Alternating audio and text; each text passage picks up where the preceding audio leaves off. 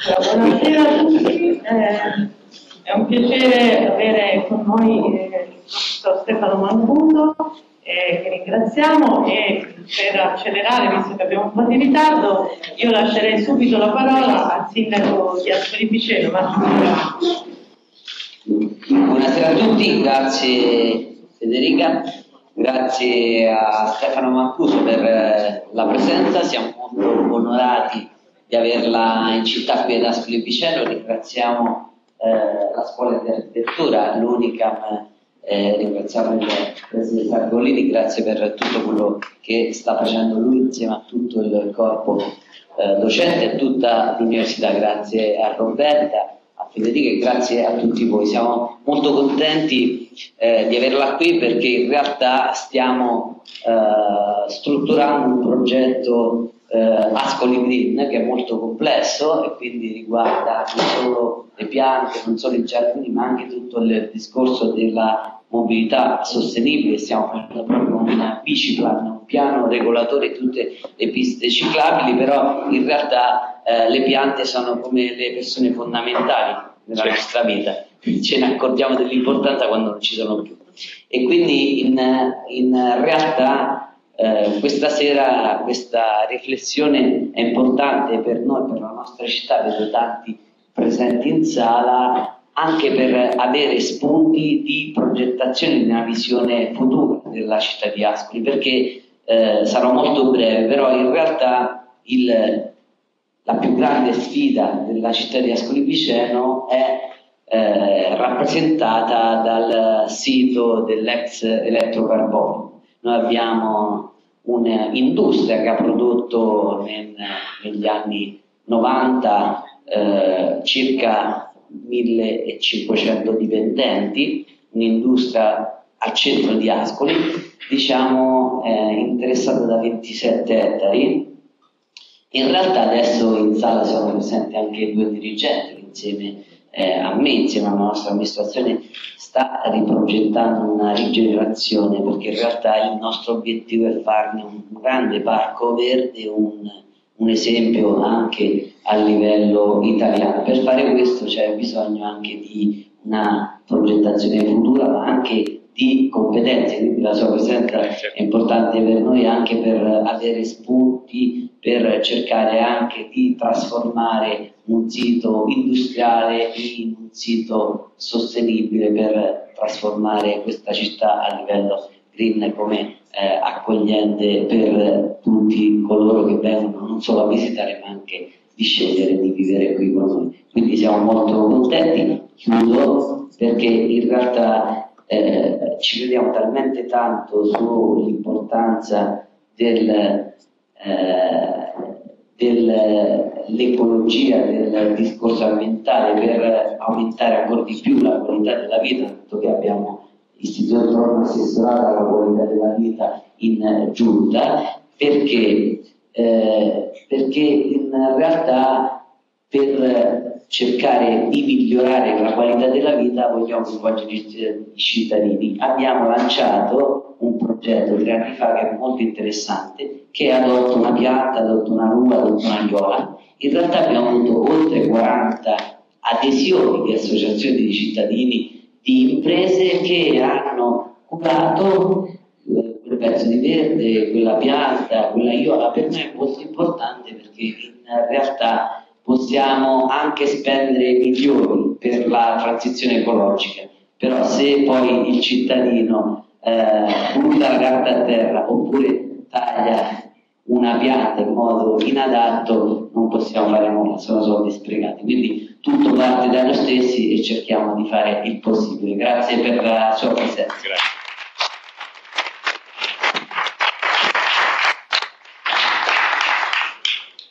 Allora adesso passerei la parola a Donatella Ferretti eh, che eh, Grazie, benvenuto al professor Mancuso, davvero un grande onore e piacere averla qui, ringrazio anche l'Unicam che ha voluto questo, questo incontro, il direttore Sargolini, le professoresse Cocci Grimponi e Ottone, ma insomma tutte le persone che sono qui oggi eh, in questa sala che è stata cortesemente abbellita, e opportunamente direi a questo punto, abbellita con tantissime piante, ringrazio Beppe Traini che come sempre, Riccardo Traini che come sempre in questo sono estremamente sensibili su questo tema e visto che c'è qui il professor Mancuso ci aspettiamo che queste piante reagiscano anche loro a quello che accadrà oggi in questa sala e, che dire, io sono molto affascinata dalle, dalle sue teorie, dai suoi studi eh, anche perché dal mio punto di vista, io insegno filosofia al liceo classico di Ascoli, eh, l'idea che eh, il creato o comunque il complesso dei viventi, la realtà stessa nella quale, eh, della quale siamo parte, sia un organismo unitario, all'interno del quale ogni elemento eh, ha il suo ruolo, il suo posto, ma strettamente collegato in un'interazione profonda con gli altri. Quindi è chiaro che il mondo vegetale, che tra l'altro occupa la, la, la, la gran parte no? del, della realtà, appunto, eh, sicuramente ha un ruolo importante in questo senso. Nelle sue teorie io vedo eh, come dire, l'avanzare anche non solo di un'idea che le piante abbiano una vita in senso molto più ampio di quello che abbiamo inteso fino ad oggi, ma vedo avanzare anche un altro principio, se c'è una vita, se c'è una reattività, se c'è una intelligenza, eh, tutto questo porta con sé anche dei diritti.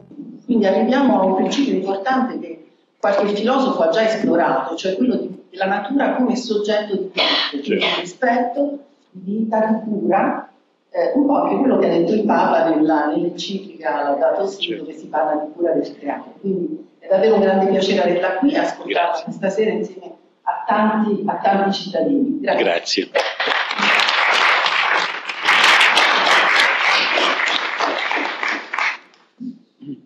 Allora, volevo introdurre il professor Mancuso e dirgli che insomma, abbiamo molta eh, voglia di sentire le sue cose, credo che lui sia conosciuto da tutti, quindi non c'è bisogno di presentarlo certo. in senso tradizionale, poi lui si presenterà dicendo quello che è la sua, eh, la sua eh, visione, diciamo.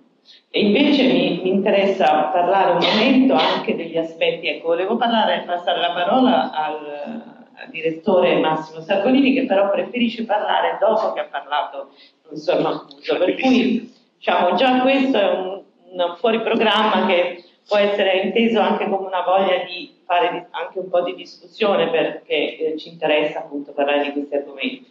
E, e in, in, particolare poi con eh, la professoressa Cocci Grifoni noi ci occupiamo di progettazione ambientale e il nostro focus eh, è il verde, sostanzialmente diciamo chiaramente eh, in una visione integrata con l'architettura, con gli spazi aperti.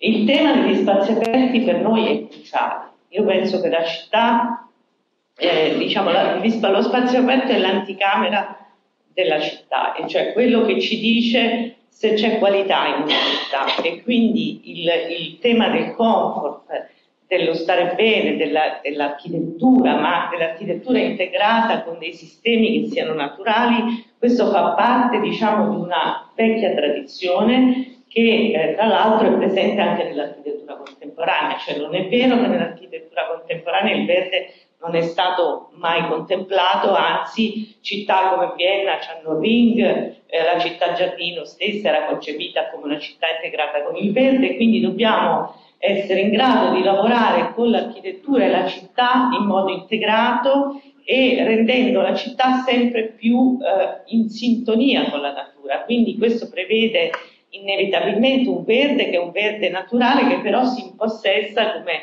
a volte succede anche in architetture di oggi, eh, si impossessa delle, della, del, il verde si impossessa degli edifici e quindi diventa diciamo, un sistema che in qualche modo viene veramente integrato. In questo senso nostro, la nostra visione è proprio quella di lavorare partendo dallo spazio aperto per farlo diciamo, in, come, dire, per, come un elemento di, di, assoluta qualità che deve distinguere le città e deve dargli una, una connotazione sicuramente adatta a questa transizione che dobbiamo necessariamente fare, che però ci dà delle opportunità veramente buone di trasformare le nostre città in città più salutari, più eh, eh, in grado di rispondere ai bisogni dei cittadini e in grado di eh, perlomeno mitigare quelli che sono gli effetti che ormai tutti sappiamo dei cambiamenti climatici. In questo senso io adesso passerei la parola un momento alla professoressa Cotrigrifoni per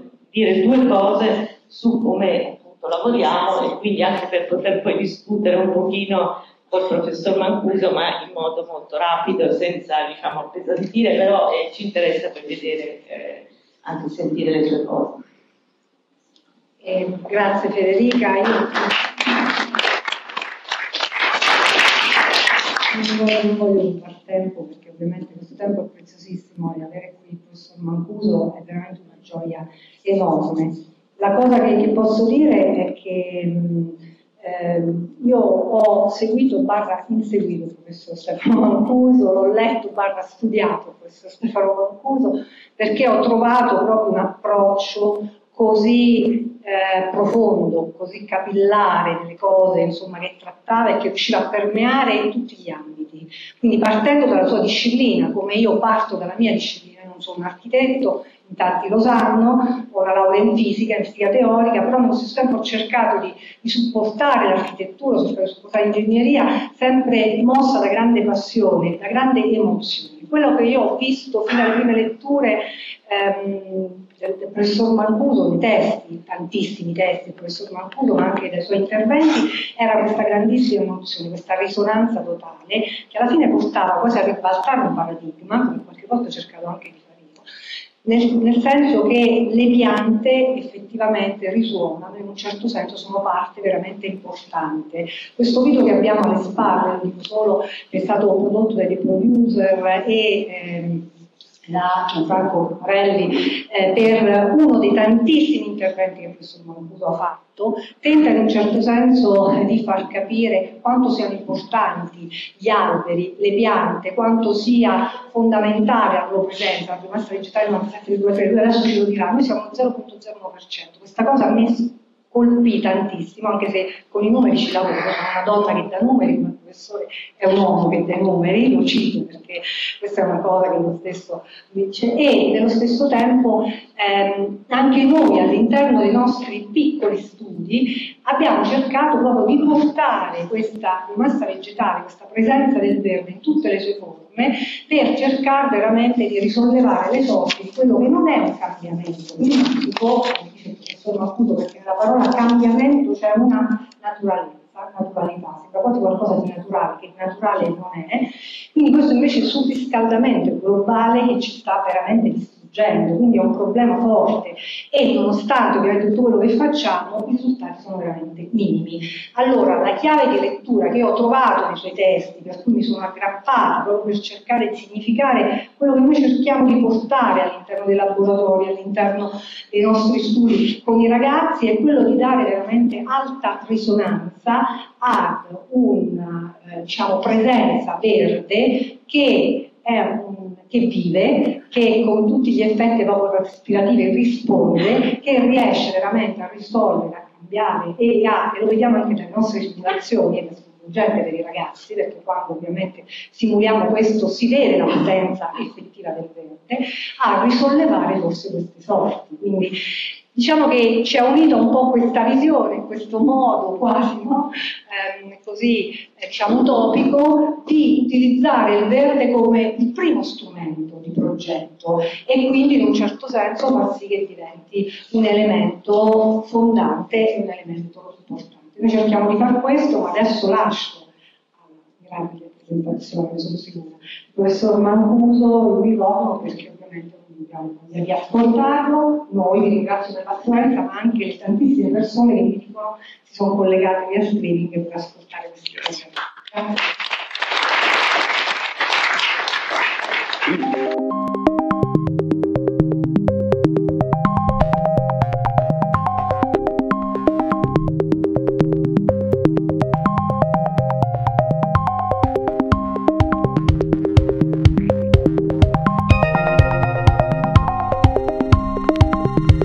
eh, buonasera a tutti, grazie al sindaco, all'assessora per eh, eh, per, anche per la pazienza, tutti voi. Eh, sono in ritardo, ma eh, non, non, mi aspettavo di trovare la neve per strada, il che mi ha rallentato un pochino. Eh, quindi scusatemi anche per i ritardi, eh, grazie a Federica e a Roberta, vero? Ricordo bene per, per, per, l'introduzione e per le parole di stima. iniziamo, di, di, che parlerò, che cosa, di cosa parlerò in questa chiacchierata.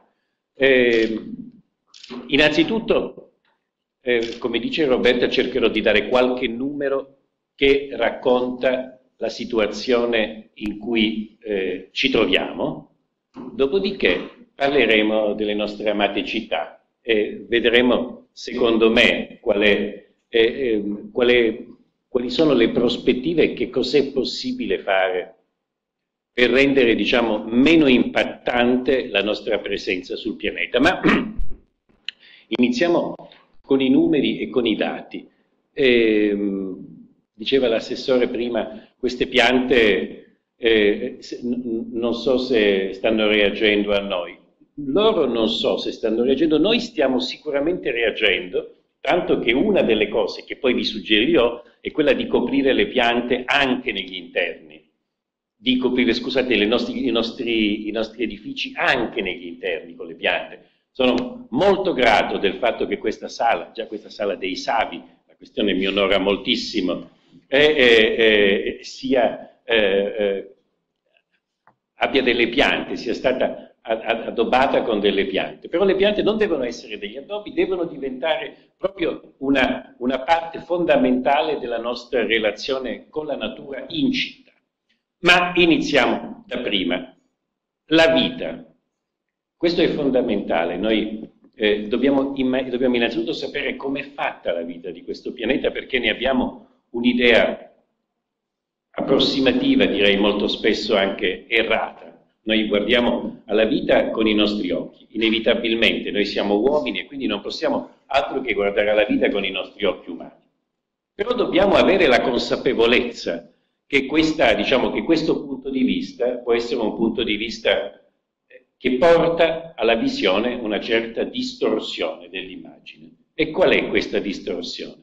È ad esempio immaginare che noi siamo il centro del pianeta, il, eh, ehm, eh, gli esseri più complessi, cioè i, i, veri dominatori del pianeta, ne parleremo, però prima volevo darvi un numero, le piante rappresentano l'86% della biomassa. Cioè, cos'è la biomassa? È il peso del, della vita. Se noi potessimo metterle su una bilancia, tutte le piante del pianeta rappresentano l'86% della vita. Gli animali, non noi uomini, tutti gli animali insieme, quindi tutti i mammiferi, i rettili, i pesci, gli anfibi, gli uccelli, gli insetti, eccetera, rappresentano un misero 0,3% in peso. Di questo 0,3% noi siamo, come ricordava prima Roberto, una parte del tutto irrilevante. La questione non è secondaria, guardate questo numero, perché uno potrebbe dire, vabbè, che c'entra, noi siamo lo 0,001 migliore. No, purtroppo la natura non funziona in questa maniera. Il fatto, il fatto che 500 milioni di anni fa noi ci si sia divisi fra piante e animali e che oggi le piante rappresentino l'86% e gli animali rappresentano lo 0,3%, sta a indicare inequivocabilmente dove stava la scelta giusta. Qual era la scelta giusta in termini di propagazione? Su questo non c'è alcun dubbio. Quello che dobbiamo fare è capire quali sono i vantaggi di questa scelta e usare il nostro cervello per utilizzarli all'interno della nostra vita. L'86% della vita è fatta da piante, lo 0,3% è fatto da animali. Le piante sono il motore stesso della vita, cioè se c'è la vita su questo pianeta è perché ci sono le piante, questo è una cosa diciamo di nuovo di una banalità estrema, lo si impara alle scuole elementari, ma come lo si impara alle scuole elementari lo si dimentica in prima media. Noi siamo qui perché respiriamo l'ossigeno che è prodotto dalle piante, ma non solo, siamo qui perché mangiamo, qualunque cosa mangiamo, proviene in prima l'energia che stiamo mangiando proviene dalle piante e non è finita qui. c'è il terzo punto, che è il, terzo, che è il, il punto ancora più importante e più nascosto di tutti. Le piante sono gli esseri viventi, la cosa, diciamo, del pianeta più efficiente in assoluto nell'assorbire anidride carbonica, nel prendere anidride carbonica dall'atmosfera e fissarla all'interno del loro corpo. Ci sono degli studi, dei modelli che dicono che se le piante dovessero morire domani e rilasciare tutta l'anidride carbonica che hanno fissato nel corso della loro storia nell'atmosfera, la temperatura del pianeta arriverebbe a dei livelli tali da essere incompatibili con l'acqua liquida, cioè la temperatura salirebbe oltre i 100 gradi, l'acqua inizierebbe a bollire, il che vuol dire che sterilizzerebbe completamente il nostro pianeta. Se le piante morissero, la temperatura arriverebbe a un livello tale da rendere il nostro pianeta identico a Marte, a Venere e a tutti quegli altri luoghi del, del, del sistema solare che conosciamo e che sono completamente sterili. Perché poi non dimentichiamolo, non dimentichiamolo questa roba che c'è tantissima vita nell'universo e bisognerà vedere, questa è una, è una di quelle distorsioni eh, scientifiche riesco, di cui non riesco mai a capacitarmi. Gli scienziati, sono scienziato, gli scienziati per loro natura, eh, se non hanno dei dati su cui basare le loro, eh, eh, le, le loro eh, supposizioni, beh, devono astenersi dal farle o usare ancora di più, ancora meglio. C'è un famosissimo principio scientifico che si chiama principio di precauzione. Se non hai alcun dato che, che indica che quella cosa esiste, tu devi pensare che non esiste. Allora, noi al momento non abbiamo mai trovato niente che neanche lontanamente indichi che ci sia tutta questa vita nell'universo. È, è famosa la frase di Enrico Ferri, dove sono tutti? Eh, diceva, ma come mai? Tutti stanno a parlare di vita intelligente, ce n'è tantissima. Einstein diceva che bisognava cercarla, la dovevamo trovare ancora sulla Terra, la vita intelligente. Però eh, eh, eh l'affermazione di Fermi, dove sono tutti, è un'affermazione importantissima e non è un caso che venga da, da Fermi. Dove sono tutti? Non c'è niente, assolutamente, non abbiamo nessuna eh, eh, indicazione che esista non solo vita intelligente, che esista vita, è una questione statistica. Noi non possiamo pensare di essere così fortunati. Ora, vi ripeto, uno scienziato ha un principio che si chiama principio di precauzione, però pensate se non fosse in qualunque altro campo della scienza, noi diremmo esiste soltanto qua.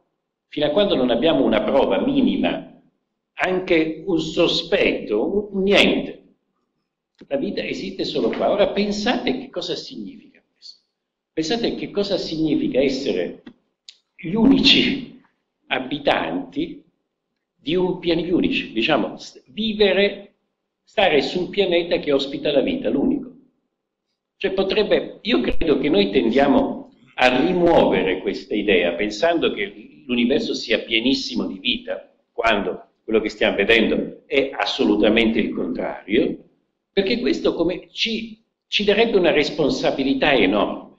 Cioè pensate, pensate che cosa vorrebbe dire se noi davvero fossimo l'unico pianeta che ospita la vita. Le implicazioni anche filosofiche sono diciamo, di natura tale che ora io non mi addentrerò dentro questo, dentro questo, eh, questo filone, semplicemente lo indico perché mi sembra fondamentale, perché è, è legato proprio al nostro approccio alla natura. Credo che sia una responsabilità troppo alta per noi, noi non possiamo, non possiamo pensare di avere questa responsabilità, di avere incarico, di essere i custodi dell'unico pianeta che ospita la vita, infatti ce ne freghiamo altamente e, e agiamo come se invece la vita fosse la cosa più comune che esiste nell'universo, nonostante noi, vi ripeto, non abbiamo mai trovato niente.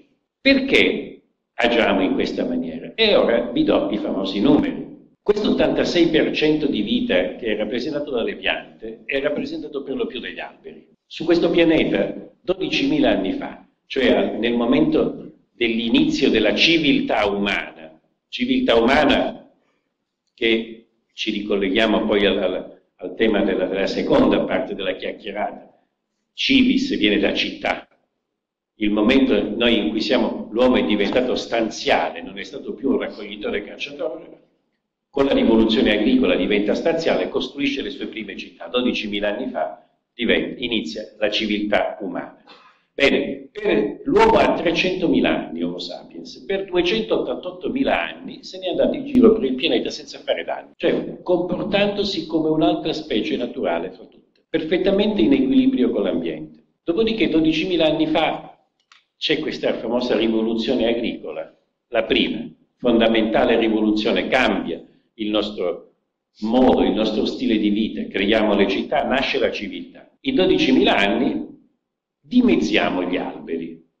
Erano 6.000 miliardi, oggi sono 3.000 miliardi. Come tutti i numeri però che vi darò, dovete pensare, dovete immaginare che tutti i numeri hanno, stanno subendo una, hanno questo andamento che gli inglesi chiamano ammazza da hockey. Che cosa, proprio la mazza da hockey ce l'avete presente, è fatta ad angolo retto. Per cui eh, tutti i dati, l'anidride carbonica, la temperatura, la, l'aumento della popolazione, il consumo delle risorse, eh, il, la, la, produzione di rifiuti, l'aumento della... Qualunque, prendete un qualunque dato vi viene in mente che abbia una... Eh, che sia fondamentale e importante per la nostra sopravvivenza sul pianeta e troverete una curva di questo tipo ad angolo retto. Anche negli alberi che abbiamo tagliato. Ne abbiamo tagliati pochissimi fino a due secoli fa, negli ultimi due secoli ne abbiamo tagliati fra i 2 e i 3.000, quei due, dei 3.000 miliardi di alberi che abbiamo tagliato nella nostra storia, almeno 2.000 miliardi li abbiamo tagliati negli ultimi due secoli.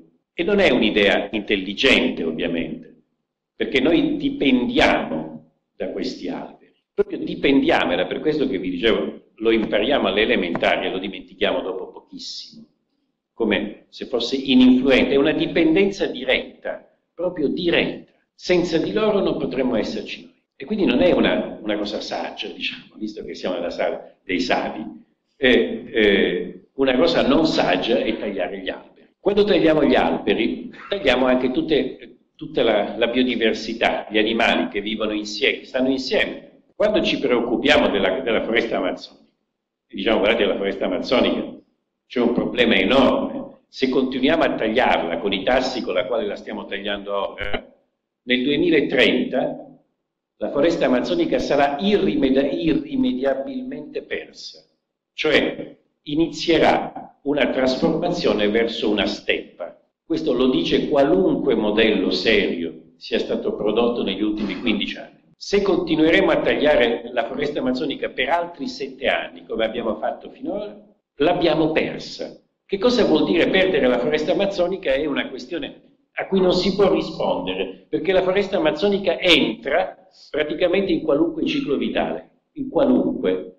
Che ne so, la, la produzione delle nuvole, le nuvole, che, i, i, i, i cicli nuvolosi che poi portano l'acqua a cadere sull'Italia, si producono in gran parte attraverso la traspirazione degli alberi in Amazzonia. Per cui quando questa enorme foresta prenderà la strada per diventare una steppa, beh, questo sarà un momento irreversibile, un, un, un cambiamento da cui non potremo più tornare indietro, qualunque cosa faremo.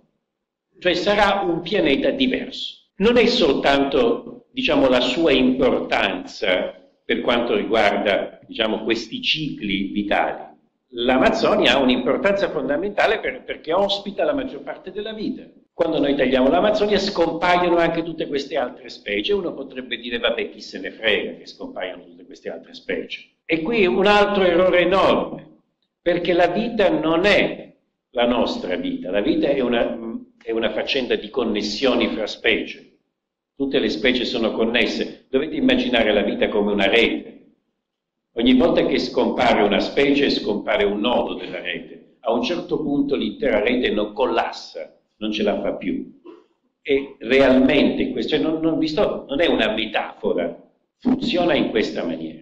E allora che, su, che come mai ci, ci, dobbiamo preoccupare? Beh, ci dobbiamo preoccupare perché per esempio la foresta amazzonica, uno potrebbe dire come mai hanno questa fortuna, questi brasiliani, colombiani, peruviani altri 4-5 paesi di avere una foresta primaria, perché questa è la grande differenza della foresta amazzonica. Una foresta primaria, una foresta primaria è una foresta in cui l'influenza dell'uomo non è stata esercitata. Questa è una foresta primaria. Come mai hanno questa fortuna? Noi perché non ce l'abbiamo? Come mai siamo così sfortunati, noi poveri europei? Ci sarebbe fatto comodo anche a noi una foresta primaria. Noi la foresta primaria non ce l'abbiamo perché l'abbiamo tagliata, ma non l'abbiamo tagliata come, si, come dice la vulgata, quei cattivoni, quei cattivoni dei romani. Arrivavano, tagliavano gli alberi per costruire le navi o per bruciare, per fare il ferro, perché i romani erano quattro gatti e come quattro gatti tagliavano quattro alberi. La foresta primaria europea noi l'abbiamo tagliata negli ultimi 170 anni. Nel 1820 una persona che fosse partita da Palermo per andare a Oslo avrebbe viaggiato quasi ininterrottamente all'interno di una foresta primaria intoccata. Sono passati tre generazioni e di questa foresta primaria europea sapete quanta ce n'è? Zero.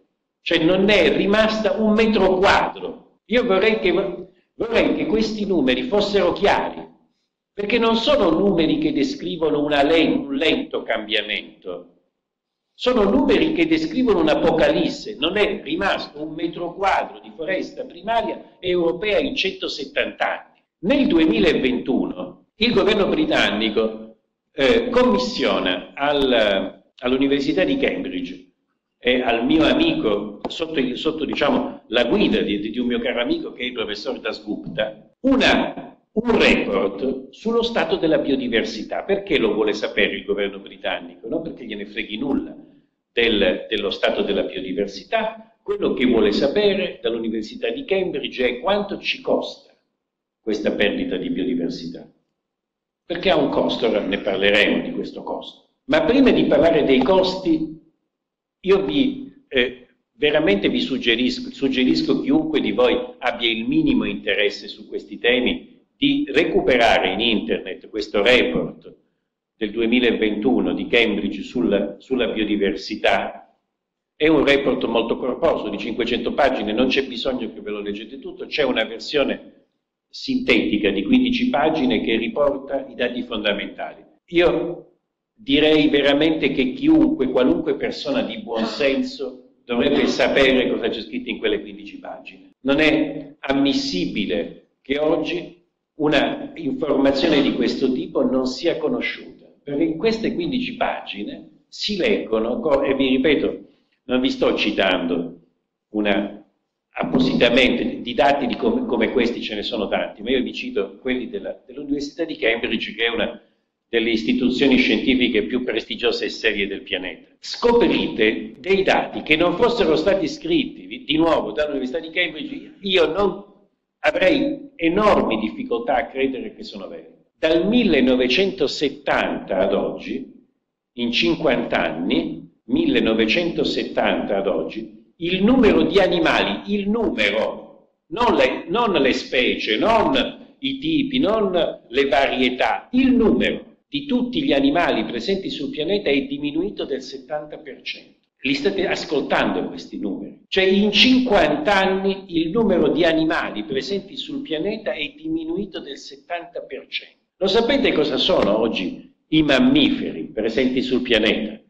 I mammiferi una volta erano, non tanto tempo fa, una gloriosa, un glorioso gruppo di animali che governavano, guidavano, erano presenti in qualunque zona del pianeta. Beh, sapete cosa sono oggi i mammiferi presenti sul pianeta Terra? Il 96% dei mammiferi presenti sul pianeta sono uomini e animali che noi alleviamo per la nostra alimentazione. Il 96%. I, gli uccelli. Vorrete sapere come stanno messi gli uccelli? Quanti uccelli ci sono sul pianeta Terra? L'85% degli uccelli presenti sul pianeta Terra sono pollame. E i pesci, lo sapete tutti, insomma, non siete tanto distanti dal mare. Non c'è un modello, uno solo modello. Beh, oggi, già oggi sapete che il 99% del pesce che comprate è di allevamento il 99%. Nei prossimi 30 anni, nel 2050, non c'è un solo modello serio che dica ci saranno più pesci selvatici. Cioè nel 2050, fra 30 anni, avremo terminato i pesci. Ci saranno soltanto i pesci d'allevamento. Ora, un tale una, un, un, impatto di questo tipo sul pianeta non è un impatto, non è un, un impatto dolce, leggero, breve, che può essere in qualche maniera equilibrato, è un impatto disastroso, molto più disastroso dell'arrivo di un meteorite. Guardate che ve lo dico con, e lo dico con cognizione di causa. Noi siamo nel mezzo di quella che è stata chiamata la sesta estinzione di massa. Perché la sesta? Perché ce ne sono state cinque prima. L'ultima qual era? L'ultima era quella che mette fine al Cretaceo, quella che tutti quanti voi conoscete, in cui terminano, finiscono, muoiono i, i dinosauri, 70 milioni di anni fa. Cade questo meteorite sulla penisola dello Yucatan e si scatena un'estinzione di massa che fa sì che il 75% più o meno delle specie allora viventi scompaia. Ora noi abbiamo di, questa, di questo evento normalmente una visione un po' da film. Cade il meteorite e per la botta muoiono i dinosauri. In realtà è andata in maniera molto diversa. È caduto il meteorite. Il meteorite ha cambiato il clima del pianeta e nei due milioni di anni successivi è scomparso il 75% delle specie. Questa scomparsa in due milioni di anni fa della quinta estinzione di massa, questa della che mette fine al Cretaceo, la più veloce estinzione che noi abbiamo mai registrato sul pianeta Terra. Due milioni di anni sono niente in termini di storia del pianeta e di vita. Bene, oggi noi abbiamo un tasso di estinzione superiore a quello della fine del Cretaceo, che però sta avvenendo non in due milioni di anni, ma in qualche decennio. E questo avrà delle conseguenze. È, è, è veramente in, inevitabile, è impossibile immaginare che un tasso di estinzione di questo tipo in un periodo così breve non avrà conseguenze per noi. È impossibile. Quali sono queste conseguenze? Beh, ce ne sono di tanti tipi, tanti. Una delle conseguenze è, sono questi famosi spillover.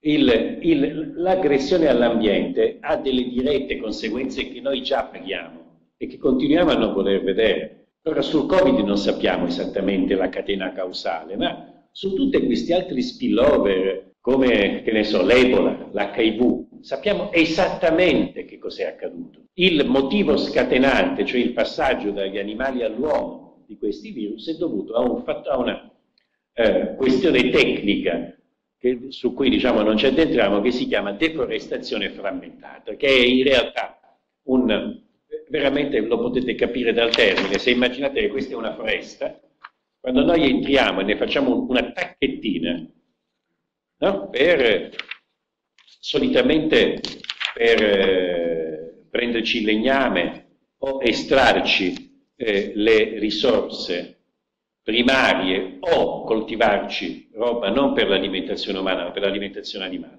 Noi deforestiamo al 98% per far mangiare gli animali. Eh. Io veramente trovo molte, molte, delle nostre azioni hanno una, una tale illogicità da essere eh, francamente quasi incomprensibili. Non si, posso, non si può immaginare che facciamo una cosa del genere. Bene, questa deforestazione frammentata fa sì che noi di colpo entriamo in ambienti che prima erano stabili e diventiamo una delle, de, delle nuove specie di questi ambienti stabili, provocando queste zoonosi, questi spillover. Lancet, che è la più importante rivista di medicina del pianeta, 30 anni fa pubblica un lavoro in cui dice guardate che attenzione perché queste zoonosi stanno, questi spillover, oggi li chiamiamo così, stanno aumentando a dismisura. Negli ultimi 50 anni si sono quadruplicati. Negli ultimi 50 anni il 75% di tutte le malattie che, nuove malattie che colpiscono l'uomo provengono da zoonosi. Sono dati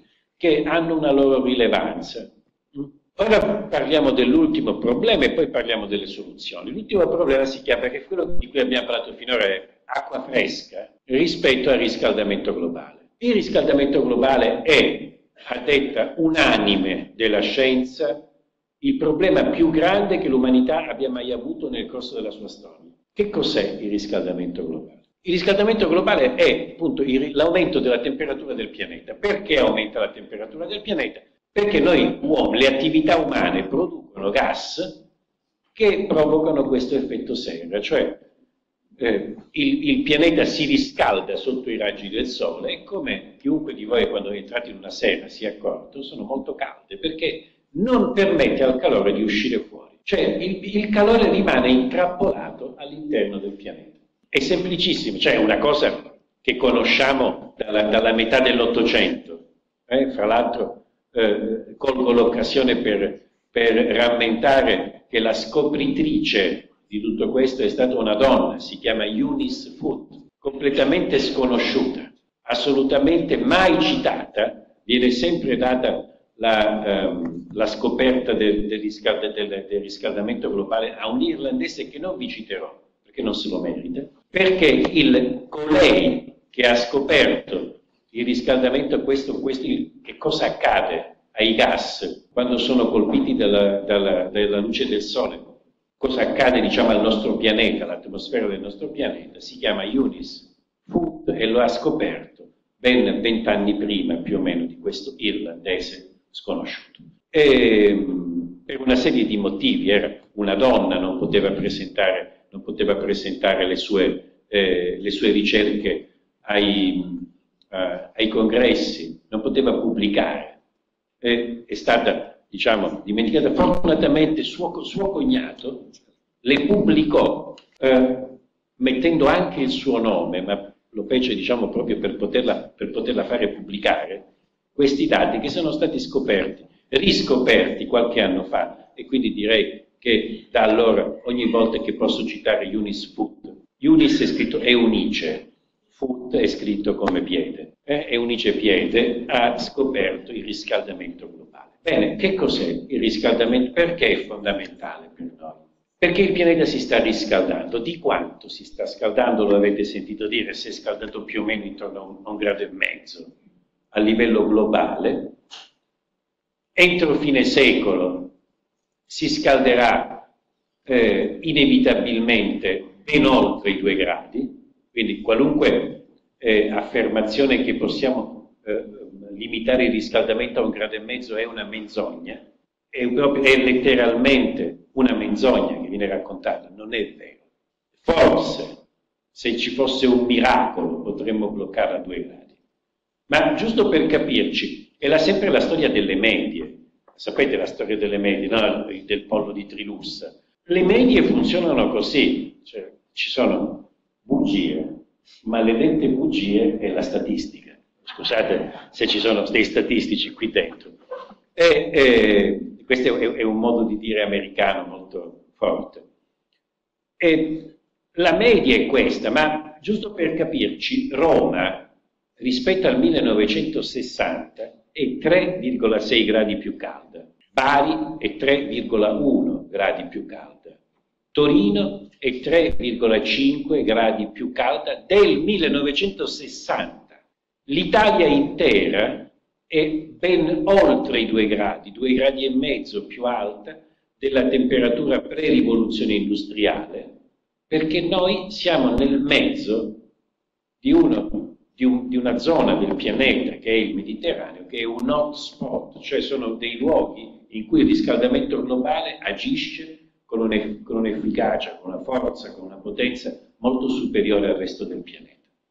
Comunque, Diciamo che arriva l'arcangelo Michele, spiega le sue ali potenti e blocca l'anidride carbonica del pianeta oggi. Nel 2100 noi avremmo oltre 2 gradi di temperatura. Questo lo dico per essere chiari su che cosa accade. L'arcangelo Michele non si sta facendo vedere, però. La temperatura e l'anidride carbonica continua ad aumentare. Ora, Prima di dirvi quanto aumenta e come aumenta, io vorrei soffermarmi un attimo sulla questione 2 gradi centigradi, perché è una questione incredibilmente rilevante. Incredibilmente rilevante perché a una prima analisi, così, parlando di, del più e del meno, dire 2 gradi centigradi sembra parlare di nulla. Cosa saranno 2 gradi centigradi? Invece di 8 e 10, invece di 6 e 8, vabbè capirai se non sei molto raffinato non te ne accorgi. Questa è l'idea che abbiamo. E invece è un'idea straordinariamente sbagliata, credetemi, eh, eh, è davvero sbagliata oltre ogni possibilità di sbaglio, di errore. Perché? Vi faccio due esempi per farvi capire cosa sono due gradi centigradi. Intanto, eh, nella storia del pianeta non c'è mai stato un aumento di due gradi centigradi in un periodo così breve, è sempre il periodo che è fondamentale. Una cosa è un, è un fenomeno che appare e si muove e agisce in 20 milioni di anni. Una cosa è un fenomeno che appare e agisce in qualche decennio. È tutta un'altra storia. Hm? Perché nei 20 milioni di anni il sistema si può in parte riequilibrare, in qualche decennio no. È giusto perché voi capiate cosa sono due gradi. Due esempi. Il primo, c'è stato un periodo della storia europea, più o meno dal, mille, dal 1400 diciamo al 1750, 1700, 1400-1700, prendiamo questi tre secoli, in cui in Europa ha fatto un freddo del diavolo. Faceva freddissimo, ma davvero freddo. Se voi leggete le cronache di questi tre secoli trovate cronache di un freddo spaventoso. Abbiamo le registrazioni in parte di queste temperature perché nel 1700, anche nel 1600 già le temperature si prendevano. Abbiamo i quadri, abbiamo quadri che mostrano ghiaccio e neve in zone in cui noi non abbiamo mai visto ghiaccio e neve, mai. Ed è stato iperstudiato questo periodo, ci sono letteralmente migliaia di volumi che trattano di questo periodo che ha un nome speciale, è chiamato la piccola era glaciale. È stato super studiato da qualunque punto di vista, le cause, il, il, le conseguenze, la meteorologia. Beh, sapete la piccola era glaciale su quale variazione di temperatura è, si è, ha funzionato? Cioè perché è partita questa piccola era glaciale? Perché rispetto alla media la temperatura si è raffreddata di 0,4 gradi centigradi. D'accordo? Allora, 4 decimi di grado in meno hanno provocato la piccola era glaciale. Pensate cosa faranno 2 gradi in più, ma guardate che 2 gradi stiamo sempre, 2 gradi stanno nella, nell'apparizione dell'Arcangelo Gabriele e Michele insieme che bloccano tutto. Saranno molti di più. Altro, altro esempio, la vostra temperatura, la temperatura del vostro corpo, quant'è? 36 gradi e mezzo. Beh, metteteci 2 gradi in più. 38 gradi e mezzo, state bene? Beh, direi di no. Ecco, questo è esattamente ciò che accade al nostro pianeta. Il nostro pianeta è, lo dovete vedere come un organismo vivente. Un organismo, realmente, un essere vivente, due gradi in più, in un, in un periodo così breve, sono un'enormità. E perché? È anche impossibile dire quali saranno le conseguenze di questa enormità, perché la temperatura è il, il singolo parametro che cambia, che influisce su qualunque reazione chimica e fisica che potete immaginare. Tutte. La temperatura cambia tutto. Se volete sapere che cosa accadrà alle nostre città nel 2070, quindi fra meno di 50 anni, andate sul sito del Politecnico di Zurigo, vi cito di nuovo un, altro diciamo, dei, dei, dei, luoghi di eccellenza della, della ricerca eh, mondiale, andate sul Politecnico di Zurigo e cercate un sito che si chiama City Pairing, che vuol dire accoppiamento di città. Che cos'è il City Pairing? È un posto dove voi andate, molto semplice, sta fatto proprio per spiegare che cos'è il riscaldamento globale. Andate lì, mettete il nome della città che vi interessa, non ci sono tutte, ma più o meno ne trovate qualcuna vicina alla città che vi interessa, mettete il nome della città che vi interessa e vi viene fuori il nome di una città che oggi ha il clima che la vostra città avrà tra 50 anni. Vi esce un esempio. Se mettete Roma, vi viene Tunisi. Se mettete Firenze, vi viene Marrakesh. Se mettete Trieste, vi viene Catania. E in parte uno potrebbe dire, vabbè, mica non si vive a Tunisi, mica non si a Marrakesh, magari, meraviglia. Non se ne parli Trieste con Catania, uno scambio meraviglioso. Ma eh, queste città, tutte queste città non sono costruite per essere Roma, non è costruita per essere Tunisi, Firenze non è costruita per essere Marrakesh, Trieste non è costruita per essere Catania. E soprattutto, e questo lo dico perché mi accorgo che quando parlo di questi temi da Roma in su, la vera domanda non ve la fate, mentre da Roma in giù se la fanno, da Roma in su no, nessuno che si chiede, scusa, ma se Trieste diventa Catania, Catania che diventa? Eh, non ve la fate però, non se la fa mai nessuno. Beh, gran, parte del, gran parte del sud Italia e tutto il Nord Africa transiteranno verso un clima che oggi è tipico del sub-Sahel, cioè di quelle zone da cui scappano tutti. 50 anni. 2000, nel 2070, e credete, prendete questi dati come oro colato, cioè pensare che non sarà vero vuol dire infilare la testa sotto la terra e non voler vedere la realtà. Nel 2070 il 18% della superficie del pianeta non sarà abitabile per estremi termici, perché farà troppo caldo. Troppo caldo. Sapete quante persone abitano su questo 18% di terra? 2 miliardi. Ora immaginatevelo questo futuro. Questi 2 miliardi di persone non è che si sposteranno perché andranno a cercare delle condizioni migliori di economia e di vita. Si sposteranno perché dove vivono non si potrà letteralmente vivere più letteralmente. E guardate che questa cosa qui, e tutto ciò sta già accadendo, è chiaro che accade in zone del pianeta di cui a noi ci porta molto poco, molto poco. L'estate scorsa un mio collega mi chiama, mi fa una videochiamata da Baghdad, dove lui insegna di estate, e mi fa guarda la temperatura Stefano, la temperatura a luglio al sole dell'anno, dell'anno scorso a Baghdad era 61 gradi. Ora, io non, non so se, di nuovo, è strano parlare, cos'è 61 gradi? 61 gradi vuol dire che se tu con una mano tocchi qualcosa di metallo ti ustioni. Questo vuol dire 61 gradi. Vuol dire che in breve non, non sarà più abitabile quella città. Questo, questa cosa che sta accadendo a Baghdad è già successo a gran parte del Sahel. Il Sahel negli ultimi vent'anni ha perso più o meno 250 km di profondità come territorio vivibile. Cioè, per 250 km prima si poteva vivere, immaginate 250 km, il Sahel, giusto per, per chi non lo dovesse sapere, è quella fascia che sta subito sotto al Sahara. Il Sahara avanza e si mangia questo pezzo, questa, questa fascia in cui vivono un sacco di persone. Beh, negli ultimi 25 anni e a, si, si è mangiato 250 km, in cui non si può più vivere. Questo è quello che sta accadendo, già accade.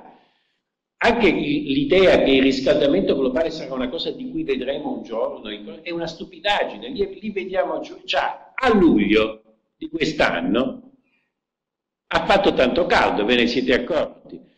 E vi, siete accorti anche, non so se lo sapete, ma ormai prendete gli ultimi cinque anni e negli ultimi cinque anni, qualunque essi siano, trovate i quattro anni più caldi mai misurati. Le, i, i, le quattro estati più calde, i quattro inverni più caldi, perché la temperatura sta aumentando in maniera esponenziale.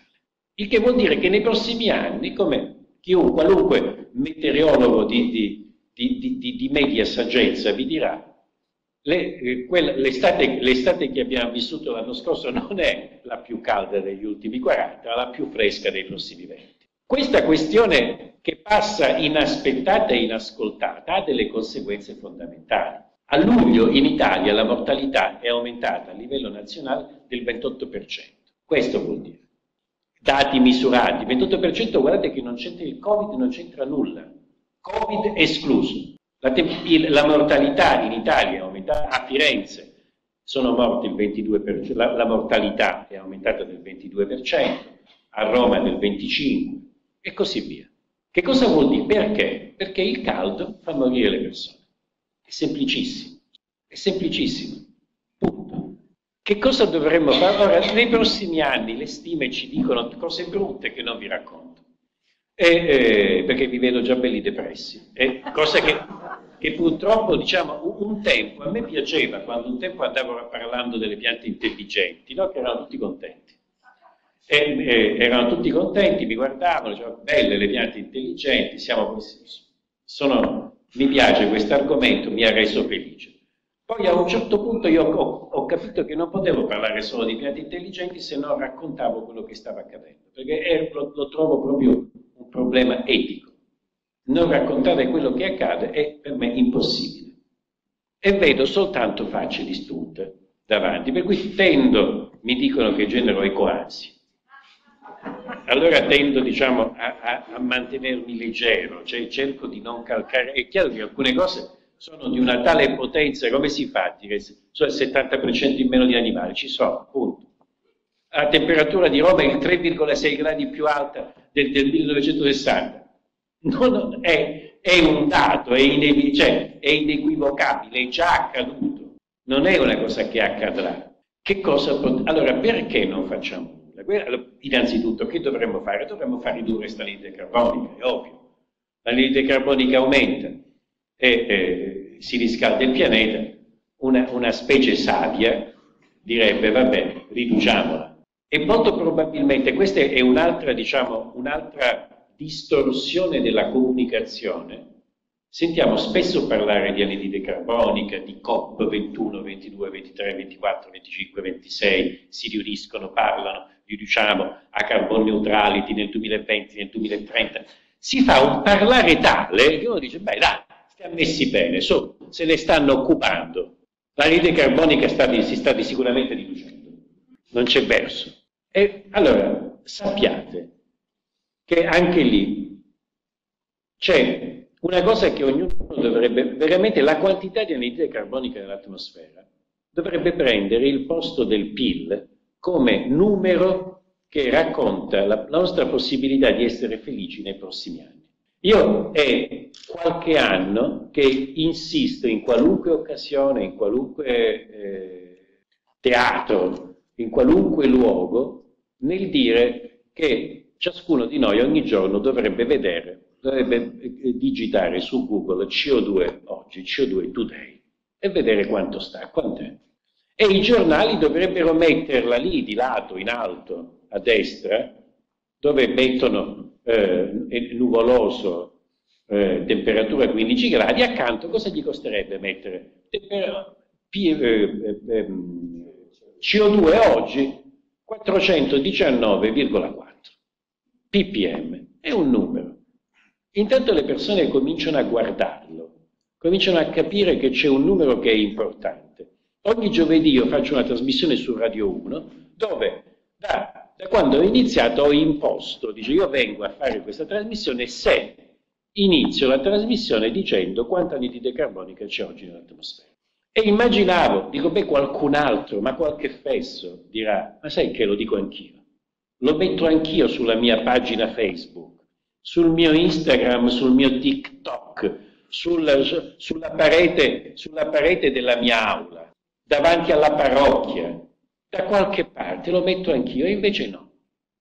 Nessuno, non, nessuno che, che, che lo fa. Perché se qualcuno lo facesse, e se si iniziasse a vedere come aumenta in continuazione questo numero, nessuno poi si meraviglierebbe quando gli si dice, guarda, che dal 90 al 2000 l'anidride carbonica è aumentata di una parte per milione ogni anno.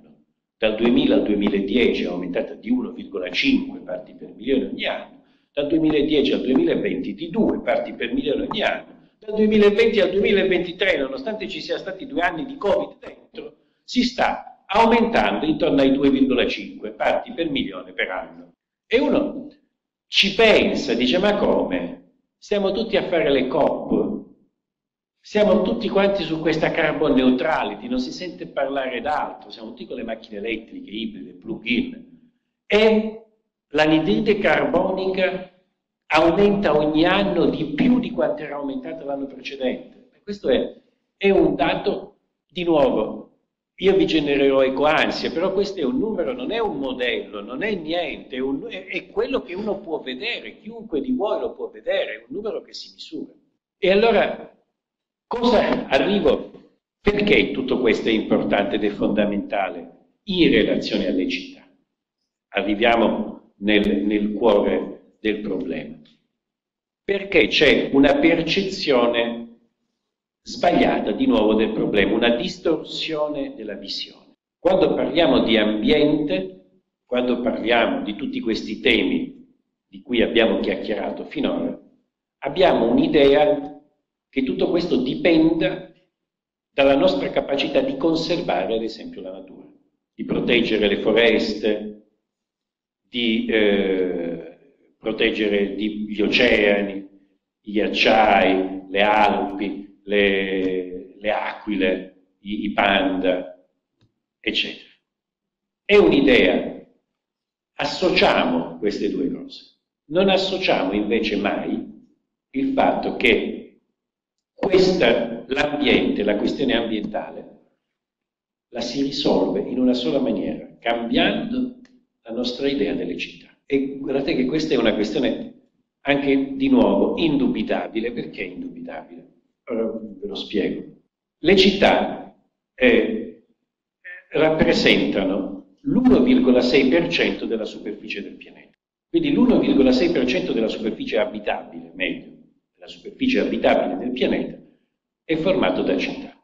Ed è, e le città, questo è un altro punto che ci sfugge, sono il luogo in cui vivono gli uomini e anche questa è una rivoluzione. È una rivoluzione di cui non ci si sta rendendo conto. Nel 1970, di nuovo questo famoso anno ritorna tante volte, nel 1970 il 30% della popolazione mondiale viveva in città e il 70% viveva in un ambiente rurale. Nel 2070, cioè quando saranno passati 100 anni, a livello globale questa proporzione sarà completamente capovolta. 70% delle persone vivranno in città e 30% in ambiente rurale. Ma già oggi in Europa, in Italia il 72% delle persone vive in città, in, in Germania il 76%, Spagna, Inghilterra e Francia ben oltre l'80%. America, America, nord e sud eh, oltre l'80% delle, della popolazione vive in città. Quindi è già un fenomeno irreversibile. Già oggi la stragrande maggioranza della popolazione vive nelle città e questo è un cambiamento epocale. Epocale di nuovo perché è avvenuto in un periodo di tempo così breve e cambia le nostre abitudini in maniera straordinaria, cioè l'uomo che vive in città non è uguale all'uomo che vive in un ambiente rurale. È una rivoluzione questa, come quella dell'uomo agricolo. Noi siamo diventati uomini urbani, uomini e donne urbane. Questo è, in un tempo ridottissimo. E perché questo è accaduto? Perché la città, è bene dirlo subito, è il luogo più efficiente in assoluto in cui grandi quantità di uomini e donne possono vivere insieme, anche in termini ambientali. Pensate a che cosa richiederebbe il riscaldamento, cosa richiede il riscaldamento di, un, di, una, di un'abitazione singola, di 10 abitazioni singole, e che cosa richiede la, il riscaldamento di un condominio dove ci sono 10, 10 appartamenti. È molto diverso. Pensate, l'efficienza aumenta in maniera esponenziale per qualunque parametro voi vogliate prendere in esame, la cultura, i trasporti. Pensate cosa vuol dire eh, provvedere dei trasporti pubblici o dei trasporti efficienti ambientalmente sostenibili per eh, abitazioni sparse oppure per una città. Pensate alla sanità, comunque all'università, qualunque cosa. È per questo che viviamo in città. E viviamo in città anche per un altro motivo, che non è secondario. L'urbanizzazione di un paese è il parametro che è più strettamente legato di ogni altro all'aumento della ricchezza di quel paese. Le Nazioni Unite una decina d'anni fa fecero un meraviglioso studio in cui dimostravano che l'aumento di, eh, di urbanizzazione in, una, in 160 paesi, il 4%, il 4% di urbanizzazione in più corrispondeva ad un aumento del PIL del 15%. E questo è il motivo per cui tutti andiamo a vivere in città. Ed è irreversibile questa cosa. Il fatto che tutti viviamo in città, però, come dire, rende le città qualcosa di nuovo. Sono, come vi dicevo, il luogo su cui noi dobbiamo agire. È soltanto l'1,6% della superficie del pianeta, ma questo 1,6% produce l'85% dell'anidride carbonica. Cioè l'85% dell'anidride carbonica è prodotta in città. L'80% dei rifiuti del pianeta, dell'inquinamento, è prodotto in città, dalle città. L'80% delle risorse del pianeta sono consumate dalle città. E questo è un altro punto importante. Ci sono molte visioni eh, sia fantascientifiche, sia anche di famosi urbanisti che hanno immaginato diciamo, un, futuro in cui la Terra sarebbe diventata una grande metropoli, un'unica grande metropoli, no? che poi è l'idea di Asimov, tanto per gli appassionati di fantascienza come me, eh, in cui diventa un, un, pianeta città. Beh, il pianeta città è un controsenso, proprio è una cosa impossibile anche da immaginare.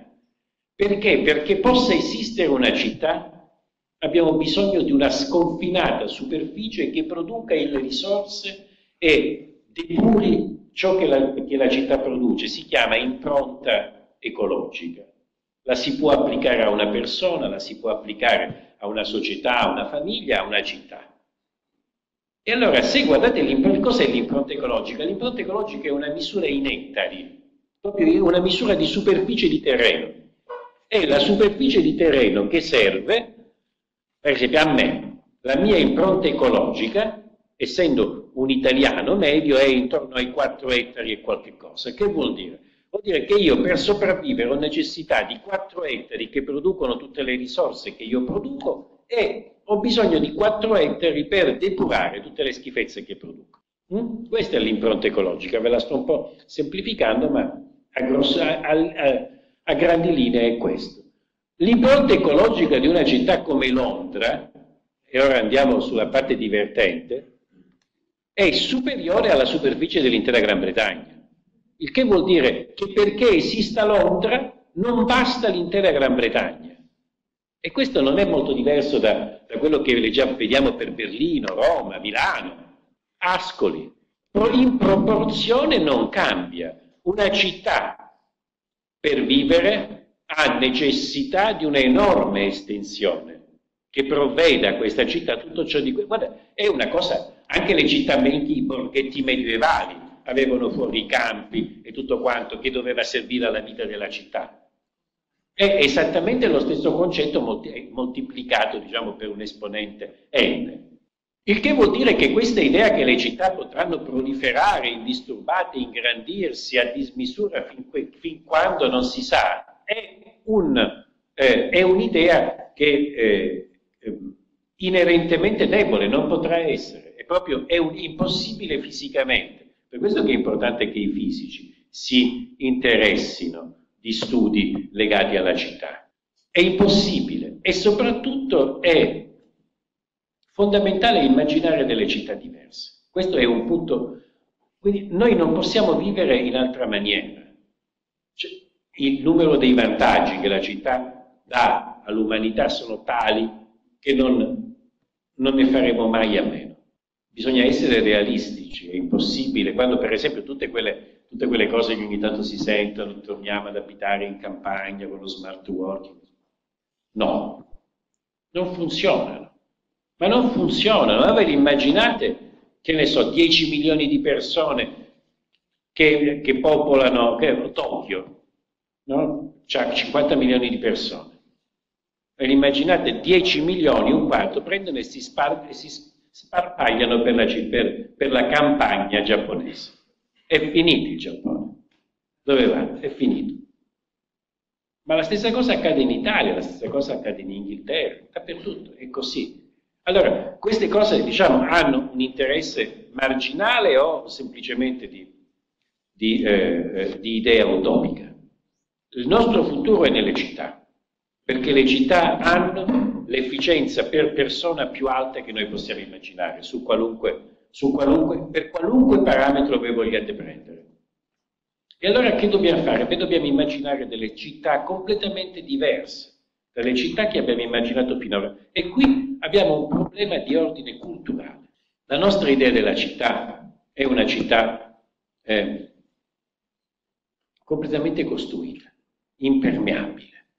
Ora, lo dico qui, in uno degli esempi, diciamo, del mondo della città ideale. Quindi eh, eh, me ne scuso subito. Però se andate, se fate veramente qualche chilometro, andate nella Pinacoteca di Urbino, trovate un magnifico dipinto che, si, è la città ideale. Ce ne, sono, ce ne sono diversi di queste città ideali.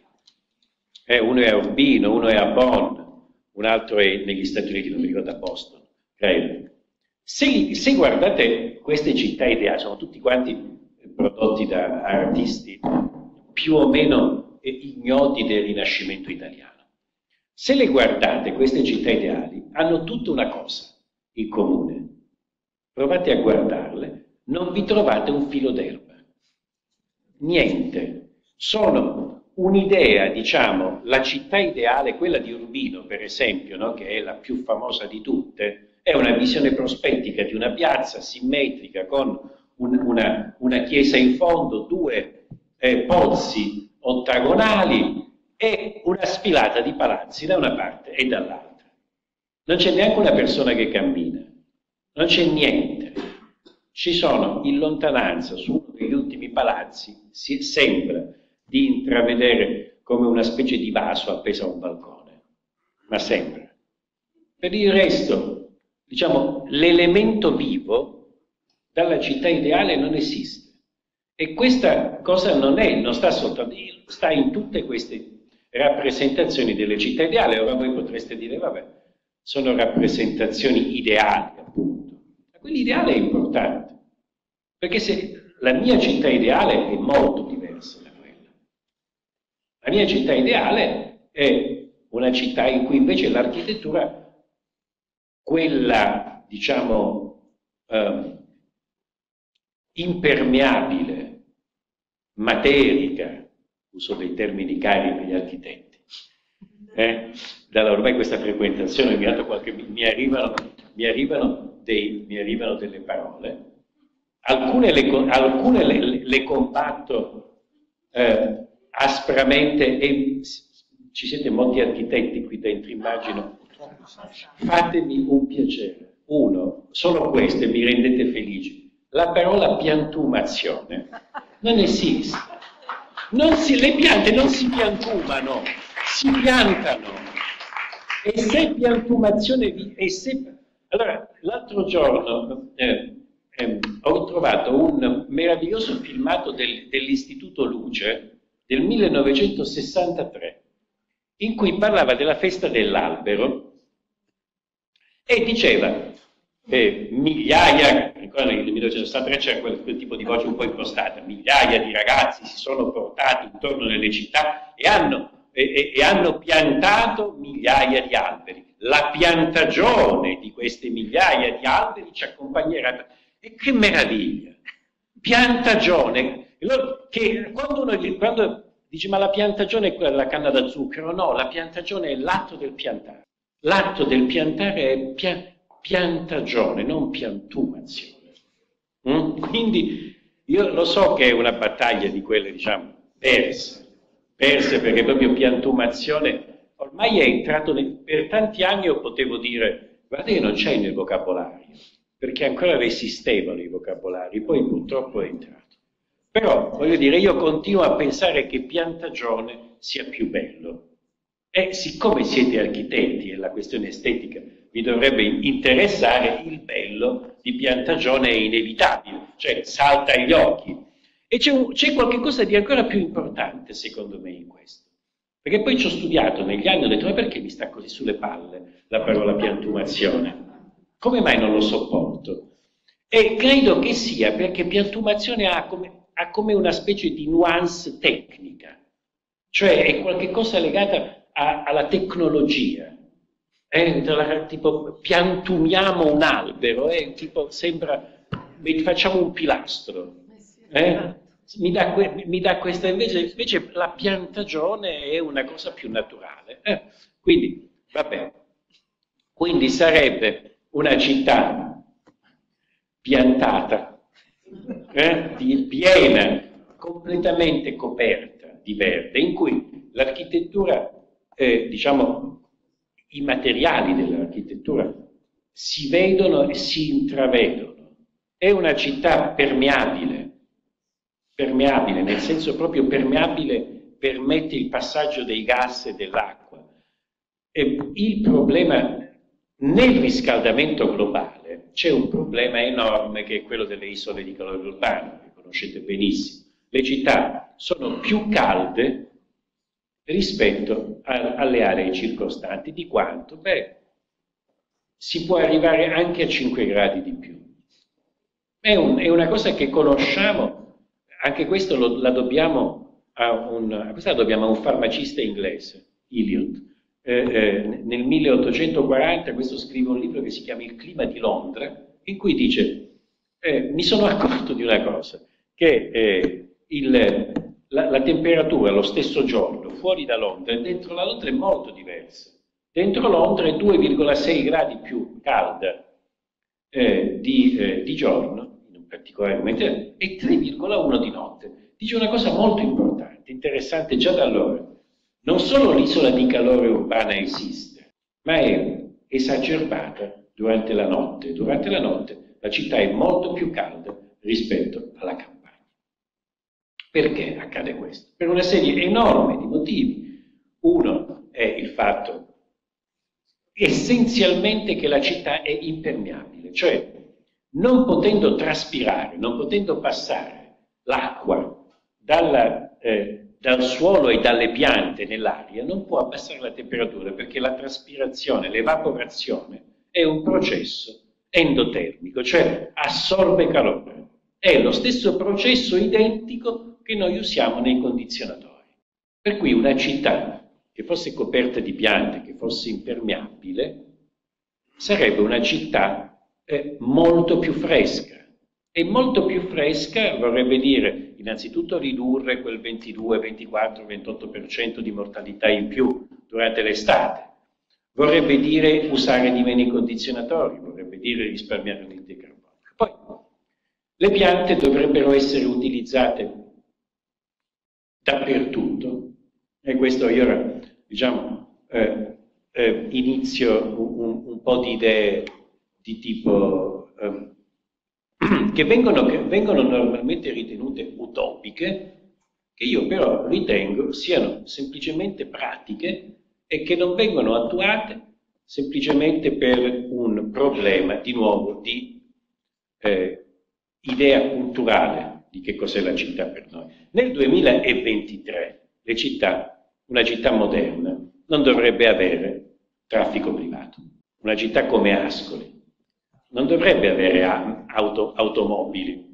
Vedete, la attraversate da una parte all'altra a piedi quando volete, poi fate, diciamo, usate dei, dei, dei sistemi che rendono il tutto uh, uh, pubblico. Ci sono Firenze, io vengo da Firenze, una città che ha un, un traffico folle, non dovrebbe avere un traffico, ma non dovrebbe averlo nessuna città. Guardate che città, Parigi, a Parigi sono, ma da, da, da, tanti anni, io ho tantissimi amici a Parigi che non posseggono macchine, ma non le posseggono non perché sono dei eh, eh, ecologisti, ambientalisti eh, insani, non, la, non lo posseggono perché perché è sconveniente per loro.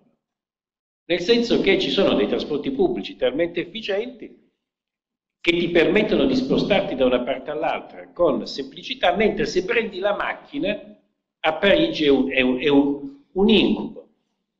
Perché nei, nei vari, nei, negli anni, per scoraggiare l'uso delle macchine, che cosa è successo? Hanno ridotto sempre di più le, le, le careggiate a favore di biciclette, monopattini, persone a piedi, cavalli, quello che volete, e hanno ridotto sempre di più la velocità. Per cui di fatto uno dice, ma perché mi devo prendere la macchina per andare a 20 all'ora, con queste carreggiate minuscole, non arrivo mai, e nessuno quindi prende la macchina. Ora uno di nuovo potreste pensare, ma dovremmo aspettare di avere chissà quali meravigliosi trasporti pubblici, perché questa è la critica che sento sempre. No, sì, va bene, è vero, ma fino a quando non avremo dei trasporti pubblici all'altezza non possiamo permetterci una cosa del genere. E io invece contesto questa, questa, questa cosa. Non è vero. Noi avremo i trasporti pubblici eh, adeguati dopo che avremo tolto le strade. Cioè, che cosa intendo? Tanto facciamo un passo indietro. Nel 1971, oggi la ZTL, il, il centro storico con il traffico limitato, è una cosa che non ci fa più assolutamente nessun eh,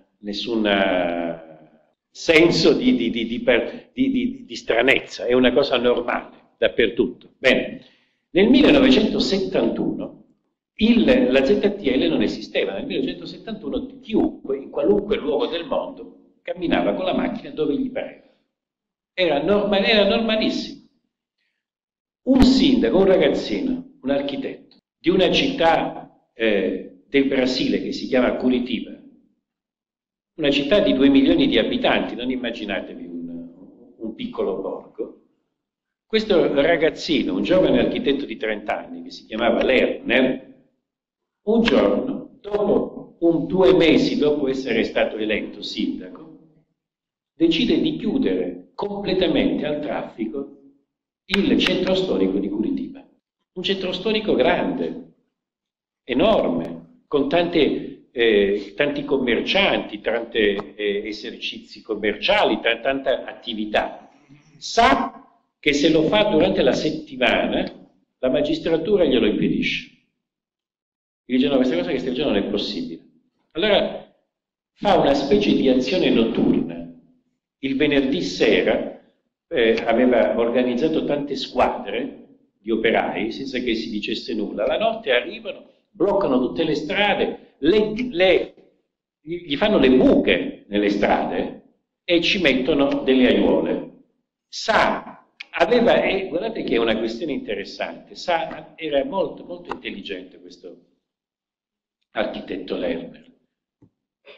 Sa che diceva per i prossimi, lo aveva detto a tutti i suoi consiglieri, a tutti i suoi amici, per i prossimi sei mesi ci faranno la guerra, toglieranno queste barriere e noi dovremo rimetterle ogni volta. Per cui ha queste squadre, questi arrivavano, gli sradicavano le piante, gli rimettevano le cose e lui ritornava, ogni sera le rimetteva, proprio senza pensarci.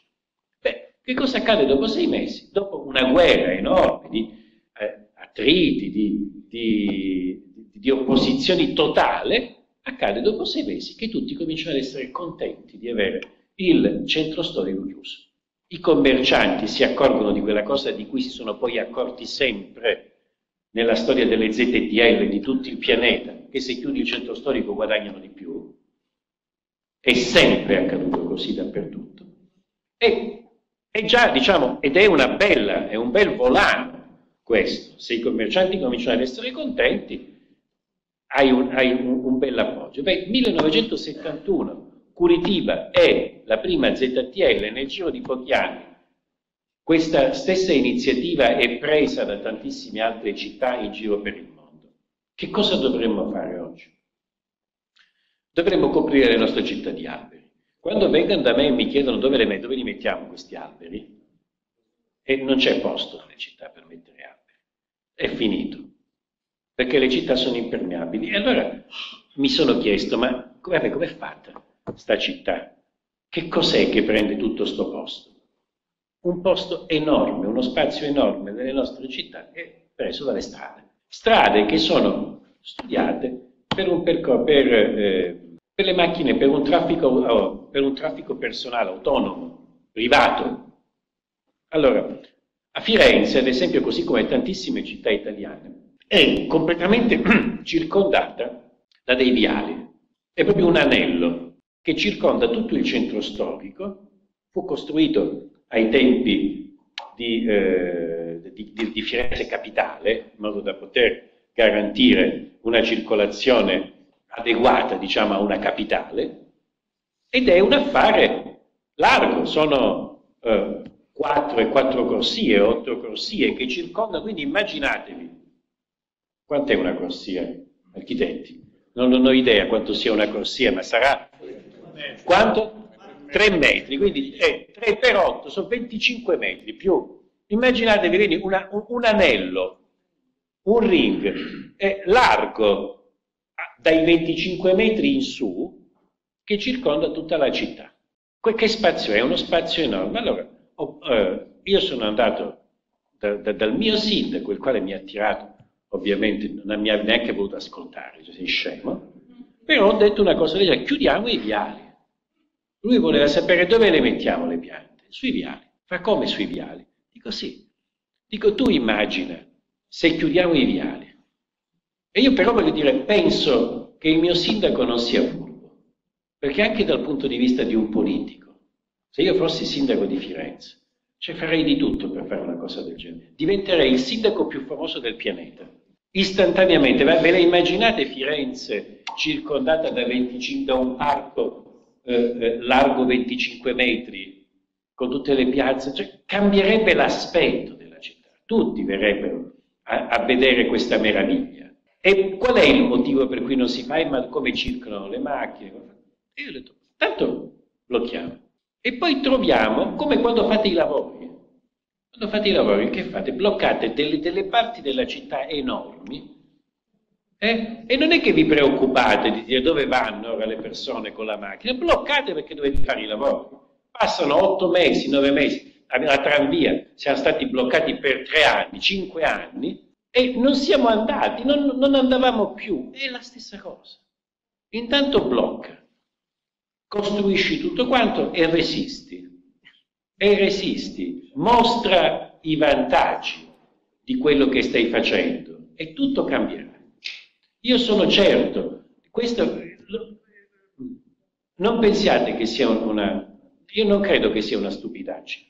Eh, non lo so, questo non lo so, ma no, non glielo so dire, però bene, il, il, sindaco è andato via per tempo, ma infatti, ma infatti, vede, io l'ho proposto al mio sindaco che è al secondo mandato e quindi non si può, non, non può essere rieletto Secondo, e questa è una classica cosa da secondo mandato. Al secondo mandato la puoi fare all'inizio del secondo mandato, eh? la devi fare all'inizio del secondo mandato. Io credo, io credo che se la fai all'inizio del secondo mandato e quindi resisti poi per tre anni, se potessero ti faranno, ti, ti, faranno, ti faranno le statue, non solo ti rieleggeranno. Perché sul lungo periodo, su un periodo un pochino più lungo, il numero e la quantità L'enormità dei vantaggi di una cosa del genere sarebbe di una tale plateale evidenza che nessuno potrebbe più negarla, così come oggi più nessuno potrebbe pensare di aprire al traffico indiscriminato i nostri centri storici. È una cosa talmente folle, no? Eppure pensate, uno pensa 50 anni fa era normale, è esattamente la stessa cosa. Questa è una, de, de, una, de, una delle, de, delle, cose che andrebbero fatte. Poi le, eh, le piante dovrebbero, stare, dovrebbero entrare dappertutto nella progettazione, fin dall'inizio. Vi, vi esorto a non usarle alla fine. Cioè la progettazione deve prevedere un enorme, non soltanto le piante, quelle prodotte da, che richiedono i regolamenti comunali, eh, eh, tot piante per tot metri quadri, le compensazioni, eccetera, no, metterne enormi quantità fuori e dentro. E dentro. Io sto... Eh, una delle... Una, diciamo, delle eh, mi, mi, imbarazza anche un po' raccontarvi questa cosa, però perché, diciamo, riguarda... Io ho un, un, un rapporto di grande amicizia con Renzo Bianco. Di grande amicizia... Renzo è, è, è l'architetto straordinario che è, su questo diciamo non, non devo dire assolutamente nulla, ma non è che avesse una particolare sensibilità verso le piante e la vegetazione prima di conoscere me. Dopodiché, siccome siamo diventati molto amici, io l'ho battuto come un martello, come un martello, come un martello. Ora, lui eh, non, non, non riesce a progettare se non con le piante. Allora, stia, stia, dico, così perché me lo ha detto lui, mi, mi, ha detto puoi dire stiamo facendo. Perché io gli ho detto come devo dire Renzo, perché mi, mi sembra brutto dire stiamo facendo, collaboro. Io ho no, non devi dire stiamo facendo. Stiamo facendo insieme il grande ospedale di Parigi, che è un progetto che ha vinto Renzo Piano. Il grande ospedale, il grande ospedale di Parigi è una, una cosa enorme. Si chiama grande ospedale perché è davvero grande. È un, è un classico ospedale post-Covid, cioè i francesi si sono spaventati, adesso ne, ne arriva un altro dove li mettiamo. E quindi fanno questo enorme ospedale. E eh, Renzo ha vinto la gara per la progettazione. Beh, com'è disegnato questo ospedale? È una cosa straordinaria dal mio punto di vista. E abbiamo chiacchierato tutto il tempo. Io ho detto, guarda, eh, in un ospedale qualunque stanza non può quedare sul verde. Devi, devi, de, ci, deve essere, ci, deve, ci devono essere piante dappertutto perché c'è una letteratura scientifica infinita che ci dice che cosa accade alla sola visione del, del verde, alla sola visione. Guardate, lavoro, il primo lavoro è su Nature, 1984 la visione delle piante dal letto di ospedale la de- riduce la degenza del 30%, abbatte del 40% il consumo degli analgesici, rende le persone molto più contente nelle, nelle, nelle anamnesi. C'è una letteratura infinita. Allora ho detto, beh, devi, devi immaginare una, una cosa per cui da dovunque tu sia, vedi piante. Perché, e poi quante possibili le mettiamo anche dentro però dentro le possiamo mettere soltanto in alcuni posti perché sono, hanno la mania della sterilità, che è una stupidaggine. Le piante sono perché per quale motivo possono entrare le persone le, e, e non le piante? Una follia.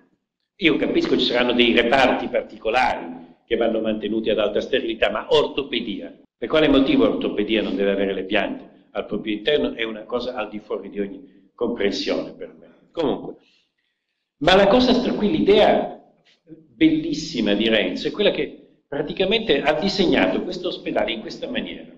Innanzitutto immaginate un parallelepipedo, un parallelepipedo bucato, per cui ci sono tante corti, e tutte queste corti sono delle foreste. E tutto il, il tetto, cioè l'intero edificio, il tetto è fatto in questa maniera, c'è il parallelepipedo ed è coperto, cioè le persone salgono sul tetto, proprio ci arrivano con una strada come se fosse una passeggiata, una strada grande, e tutto il tetto è un grande parco. Quindi c'hai questo, il tetto, tutta la parte neanche, non, non so, è sbagliato chiamarlo tetto, tutta la parte superiore del, del, dell'ospedale è un grandissimo parco pubblico, cioè un parco dove sono con le panchine, con i giochi dei bambini, i, dove vanno le persone come a un parco. In mezzo ci sono questi buchi che sono delle altre foreste che escono fuori.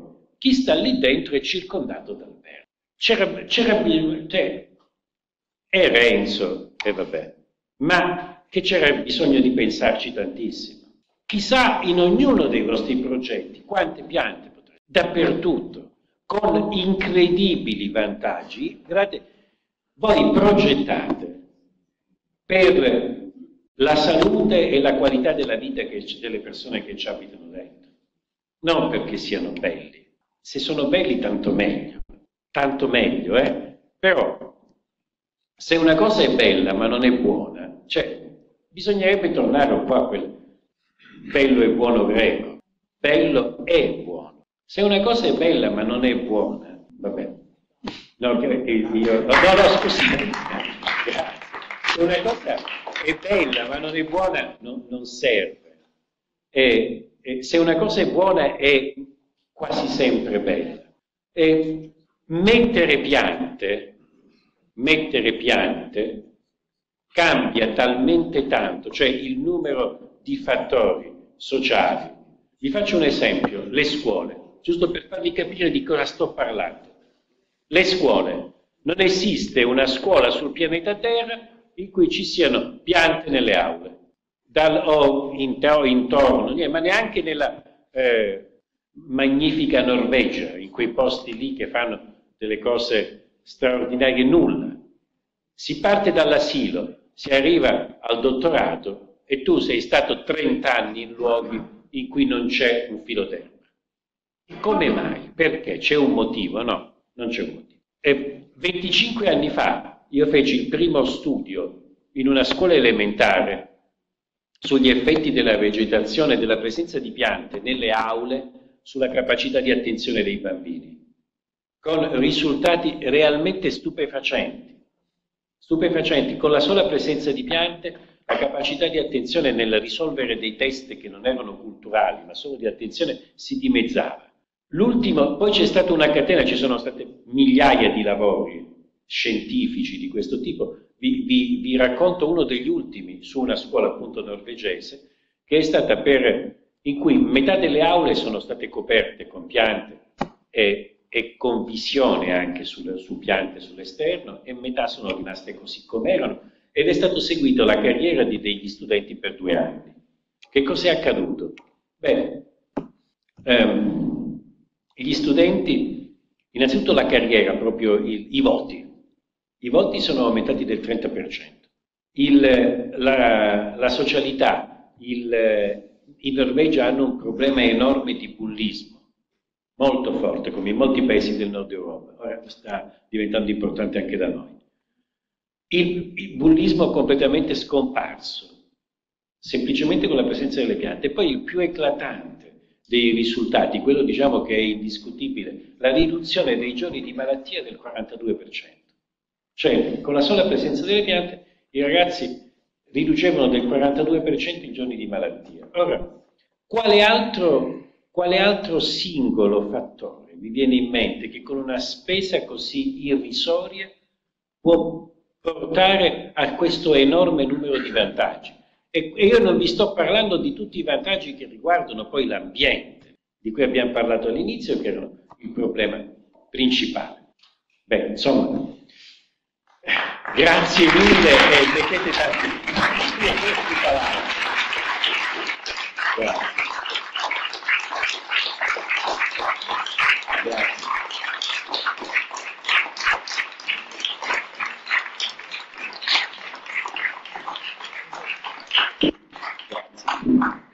Se ci sono domande io sono dispostissimo a chiacchierare. Però delle cose voglio dirle. Allora, in primis ringraziare le colleghe che hanno invitato eh, il professor Stefano Mancuso, e, e, al quale sono molto grato per questa sua produzione, perché, più, più che altro per questa sua visione, che fa bene comunicarla costantemente anche ai giovani in modo particolare e poi però su questo tornerò. Ringrazio il Comune perché ci ospita e noi lavoriamo con il Comune su molte visioni anche importanti per la città dove il vetro è importante. Come, come le diceva il sindaco, non siamo arrivati a chiudere le strade e a mettere tutti gli altri, però delle cose le stiamo facendo. Ora io le dico solo due o tre cose molto rapide. La prima è evidente che il professor Mancuso è un visionario. Visionario, attenzione, eh, vuol dire che è un pioniere nello sguardo, nel guardare avanti, eh, non è visionario, diverse accezioni può essere incluso. No, come ci sono stati importanti visionari nel mondo e nello studio anche delle città, nello studio del futuro del pianeta. Io ricordo, pur essendo eh, ormai anche un po' avanti negli anni, lo ricordo perché l'abbiamo anche studiato, no? i limiti dello sviluppo di Aurelio Peccei, certo. di Roma. Tutti parlavano di Aurelio Peccei e il suo gruppo come eh, uccelli del malaugurio, certo. purtroppo invece delle cose si sono verificate. Poi voglio, voglio dire del rapporto Brundtland, certo. eh, il concetto di sviluppo sostenibile. Ora, io e qui sto pensando a questo, ma chi era Peccei e chi era Brundtland? Licei era un imprenditore, non so se lo sapete, un imprenditore che lavorava per la Fiat. Brundtland era un medico. Che c'entrano questi nell'andare a studiare? No? Ecco, e che cosa è mancato secondo me in questa riflessione? Perché stiamo parlando dal 72 ad oggi, mi chiamo Stefano, siamo certo. colleghi la, certo. accademici. È mancato secondo me una, un fa, un, una questione di fondo, cioè non siamo riusciti a tradurre strategie, visioni che comunque ci sono state, chiare, più o meno chiare, più o meno combattute, eh, andando avanti si sono consolidate. La Next Generation EU nasce anche da queste visioni, e, e la transizione verde e digitale di cui ci riempiamo la bocca nasce da queste decisioni. Che cosa è mancato? Secondo me è mancato, e lo chiedo a te, se è vero, la capacità di tradurre visioni in azioni concrete, progettuali. Perché la visione è una visione. Eh, appunto, sono dei visionari capaci prima di altri di intuire delle cose. E va bene, e, l'abbiamo, e l'ho raccontato. Ora, da queste visioni, nel momento in cui peraltro sono condivise, perché attenzione, Peccei nel 72 considerato, era considerato uccello del malaugurio certo. e scansato, però dobbiamo anche dire che oramai molto, è molto più consolidato questo pensiero, no? e quindi sono sempre di più i colleghi e politici, visionari che parlano di questo. Però che cosa è mancato? La capacità di tradurlo in azioni concrete. Ecco, allora su questo, su questo io ti chiedo uno sforzo, eh, professor Mancuso o Stefano ti chiedo uno sforzo che, perché noi manca anche, io lavoro da 33 anni, io sono urbanista, ma che ha lavorato eh, alla pianificazione dei parchi, aree protette, quindi lavoro da 30 anni con botanici e ecologi. Ecco, il botanico, l'ecologo, lo scienziato di turno ha sempre svolto un ruolo all'interno delle torri apurne della ricerca. Certo. Come te ne ho visti pochi, capito? Cioè, in realtà, di queste persone che escono, si mettono in gioco, dicono delle cose, rischiando anche di essere aggrediti dai loro certo. stessi eh, colleghi dello stesso settore disciplinare, perché dice ma che parla di questo? Ma questo è un botanico, è un ecologo, perché non sta ragionando sulle classificazioni di Linneo e quant'altro? No? Certo. Allora, ecco, questo, quindi è evidente che questo rischio l'hai corso, il coraggio del pioniere ti ha fatto imboccare una strada e noi siamo, eh, ti abbiamo accolto a braccia aperte però ora che cosa manca? Manca quel botanico, quell'ecologo, che affianchi quotidianamente il progettista urbano, è compito nostro a questo punto, e che lo aiuti no, a gestire lo spazio aperto, il verde, i tipi di verde e quant'altro. Questo è un tema, è un tema guarda, io, io sto, chiudo, eh, sì. sono stato consulente del governo nel PNRR e PNC. Sì. Quindi il tema del, del, del, del verde, del rimboschimento, c'è, c'è anche, un fondo specifico.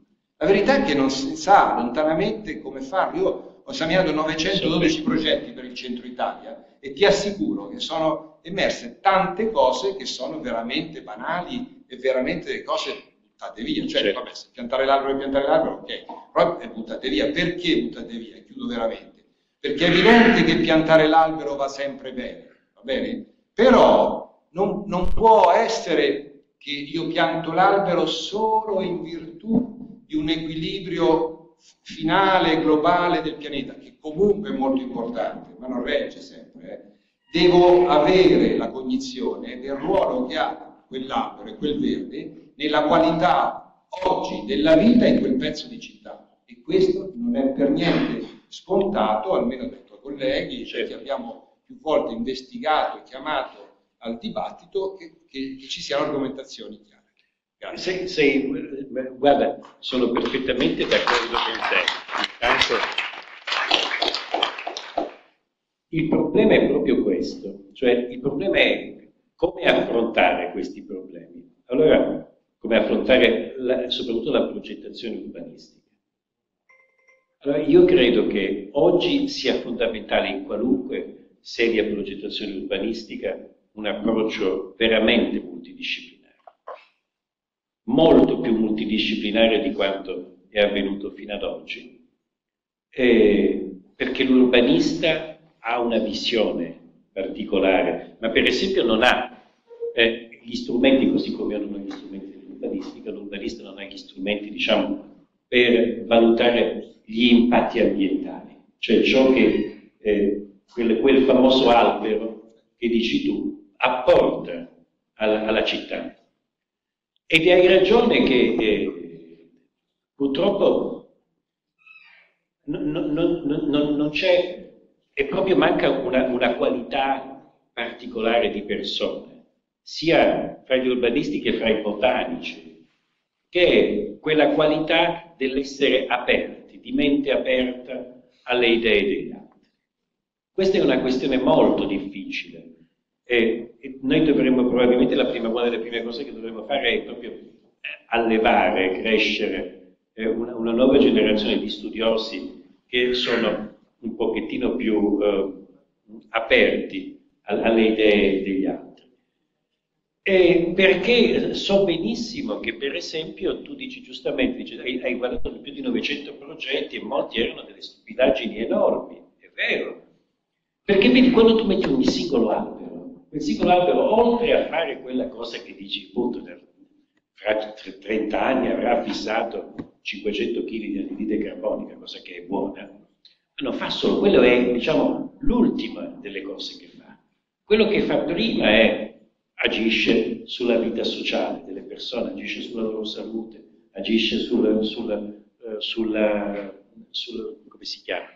Il microclima, l'isola di calore. E, e, tutte queste cose qui eh, andrebbero, andrebbero, non solo eh, valutate, ma misurate, cioè si potrebbero misurare, si potrebbe dire guarda che il singolo albero lì ti porterà eh, quanti, quantificando eh, questo, questo, questo e quest'altro, cosa che purtroppo non viene fatta.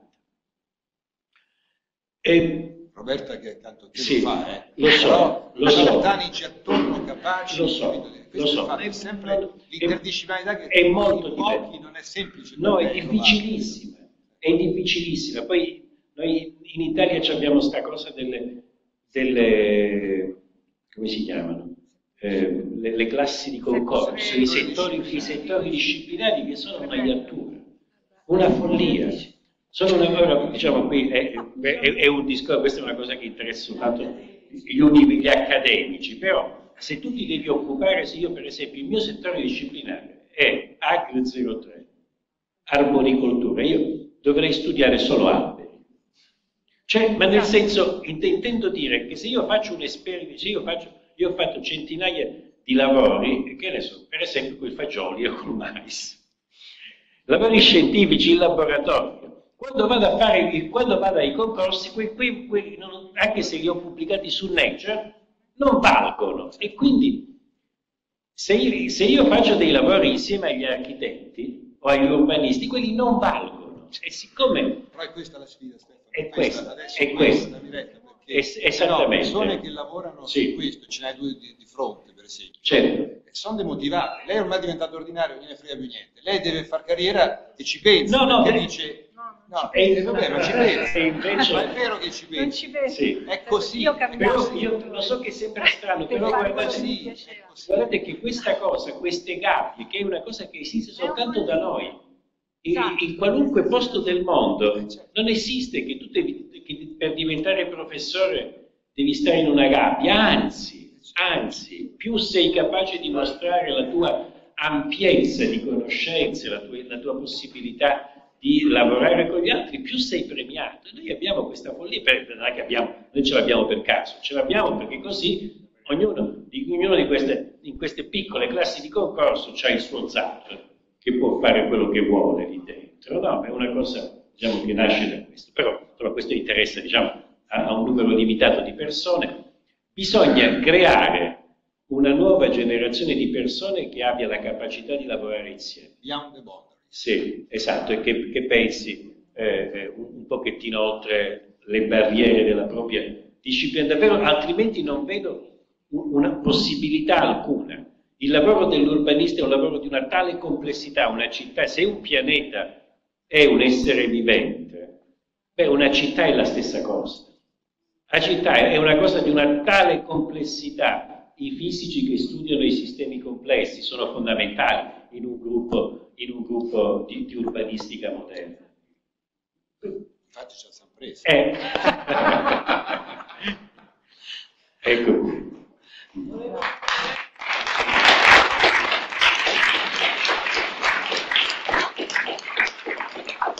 Secondo me deve, deve, deve, deve sentire la professoressa che le può quantificare esattamente i benefici in euro e anche diciamo fisici di qualunque albero, di ciascun albero che viene messo in qualunque luogo della città, perché questo è un punto fondamentale.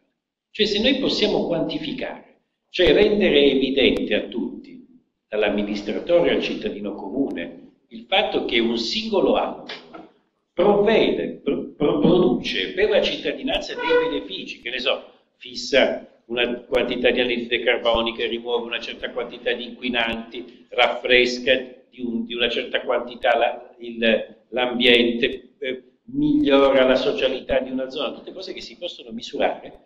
Poi allora è difficile contestare l'utilità di un albero. Tenga, poi questo da una parte, dall'altra parte si metta l'anima in pace, continui a piantare alberi al meglio che può, perché è vero che tutti quanti diciamo che bello, bello, mettiamo gli alberi, eccetera. Per esempio a Firenze io ho un'esperienza atroce. Eh, in, in, alcuni posti ho detto, vabbè, mettiamo gli alberi. In, in questi, sono anch'io, agisco diciamo un po' da, da consigliere de, de, delle, delle, amministrazioni da questo punto di vista, quindi sono proprio l'arboricoltore pazzo e quindi viene fatto, no? dico, prendiamo questa strada, dico, questa strada, rimuoviamo, togliamo un eh, parcheggio, un posto macchina ogni tre e al posto di questo ci mettiamo un albero, per l'amor di Dio. I drammi, i drammi, uno, due, gli alberi, ma che alberi mettete? Eh, sporcano gli, alberi che sporcano sono una cosa che mi fa, veramente mi manda fuori di testa. Vogliono gli alberi, ma li vogliono. Che non sporcano, che non perdano le foglie, che hanno dei fiori che non sono allergenici, che non puzzano. Ma allora mettetevi una, una, una, una cosa di plastica e basta, e siete più contenti. Gli alberi sono esseri viventi. Ma i cani però li avete, puzzano. Cavolo se puzzano, producono escrementi fanno di tutto, eppure ve li tenete i cani, no? Allora perché l'albero non può perdere le foglie? Perché? Non, non, non so, quindi ci sono, per questo le dicevo, si metta l'animo in pace e pensi che quello che fa è giusto e vada avanti.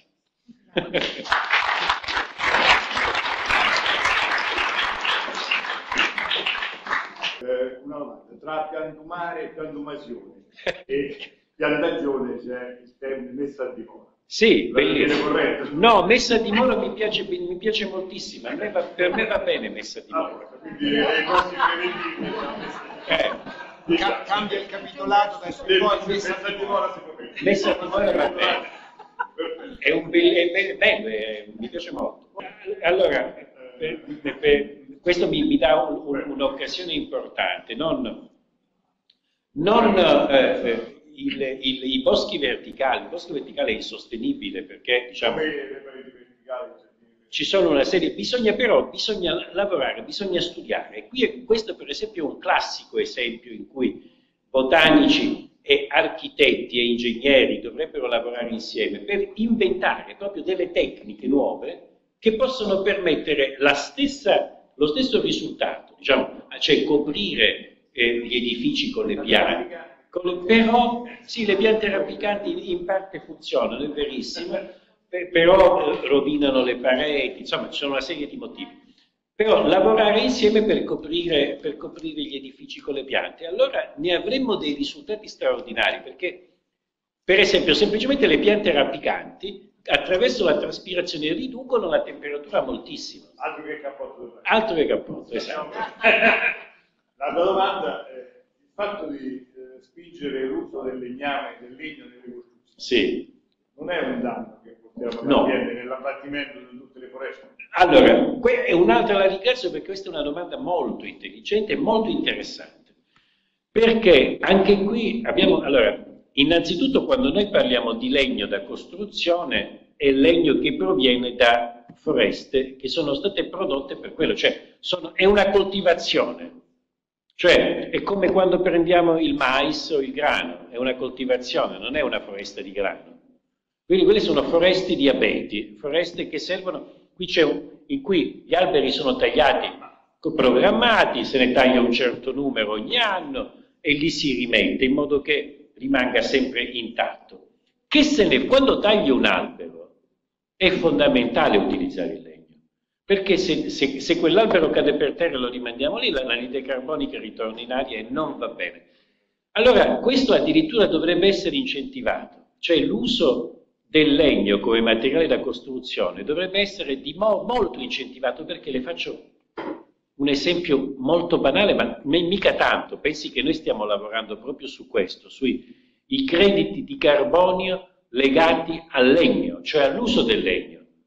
Come funziona? Permettetemi questa cosa, una piccola postilla su come funziona un credito di carbonio oggi. Cioè se tu fai una cosa e la fai in una maniera tale per cui rispetto alla tradizionale eh, al modo tradizionale risparmi anidride carbonica, quella anidride carbonica te la puoi vendere, la puoi, la, la puoi mettere sul mercato. Quando tu costruisci una casa in cemento, semplifico, eh, e, e, il cemento è di per sé, oggi stanno trovando dei cementi nuovi, ma non li hanno trovati, però non si utilizzano. Il fatto che ci sia una ricerca non vuol dire che si utilizza. Di fatto oggi usiamo il cemento quello standard, quello classico, la cui produzione incide per il 13% dell'anidride carbonica prodotta annualmente. Cioè il cemento è una delle cose, per capire l'entità, l'intera Unione Europea produce l'8% dell'anidride carbonica, l'industria del cemento ne produce il 13%. Ok? Giusto per capire.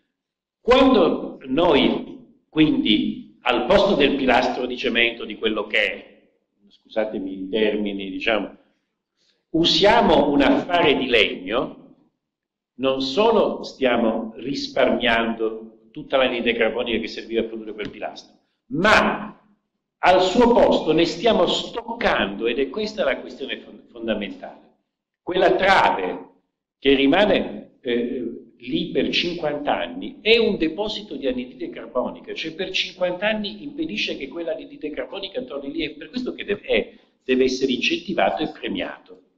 Quindi io sono, purché ovviamente il legno venga da, da foreste certificate e programmate, dovrebbe diventare di gran lunga eh, eh, più importante.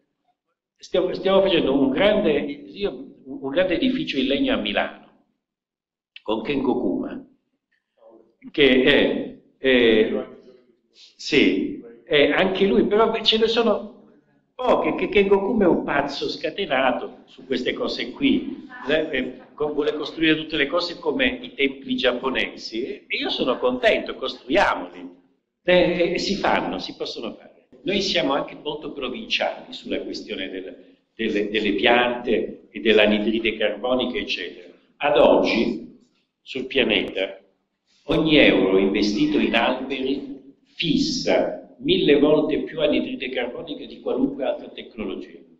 Cioè, mille volte, ma è, un, è proprio ci sono i, i lavori, è, è, molto chiaro. Un euro investito in alberi assorbe mille volte più anidride carbonica di qualunque altra tecnologia. Perché non li mettiamo? Lei dice, beh, perché siamo provinciali, perché se si chiamassero, se invece di chiamarsi alberi, si chiamassero colonnine ad alta efficienza per l'assorbimento dell'anidride carbonica, ne staremmo coprendo il pianeta.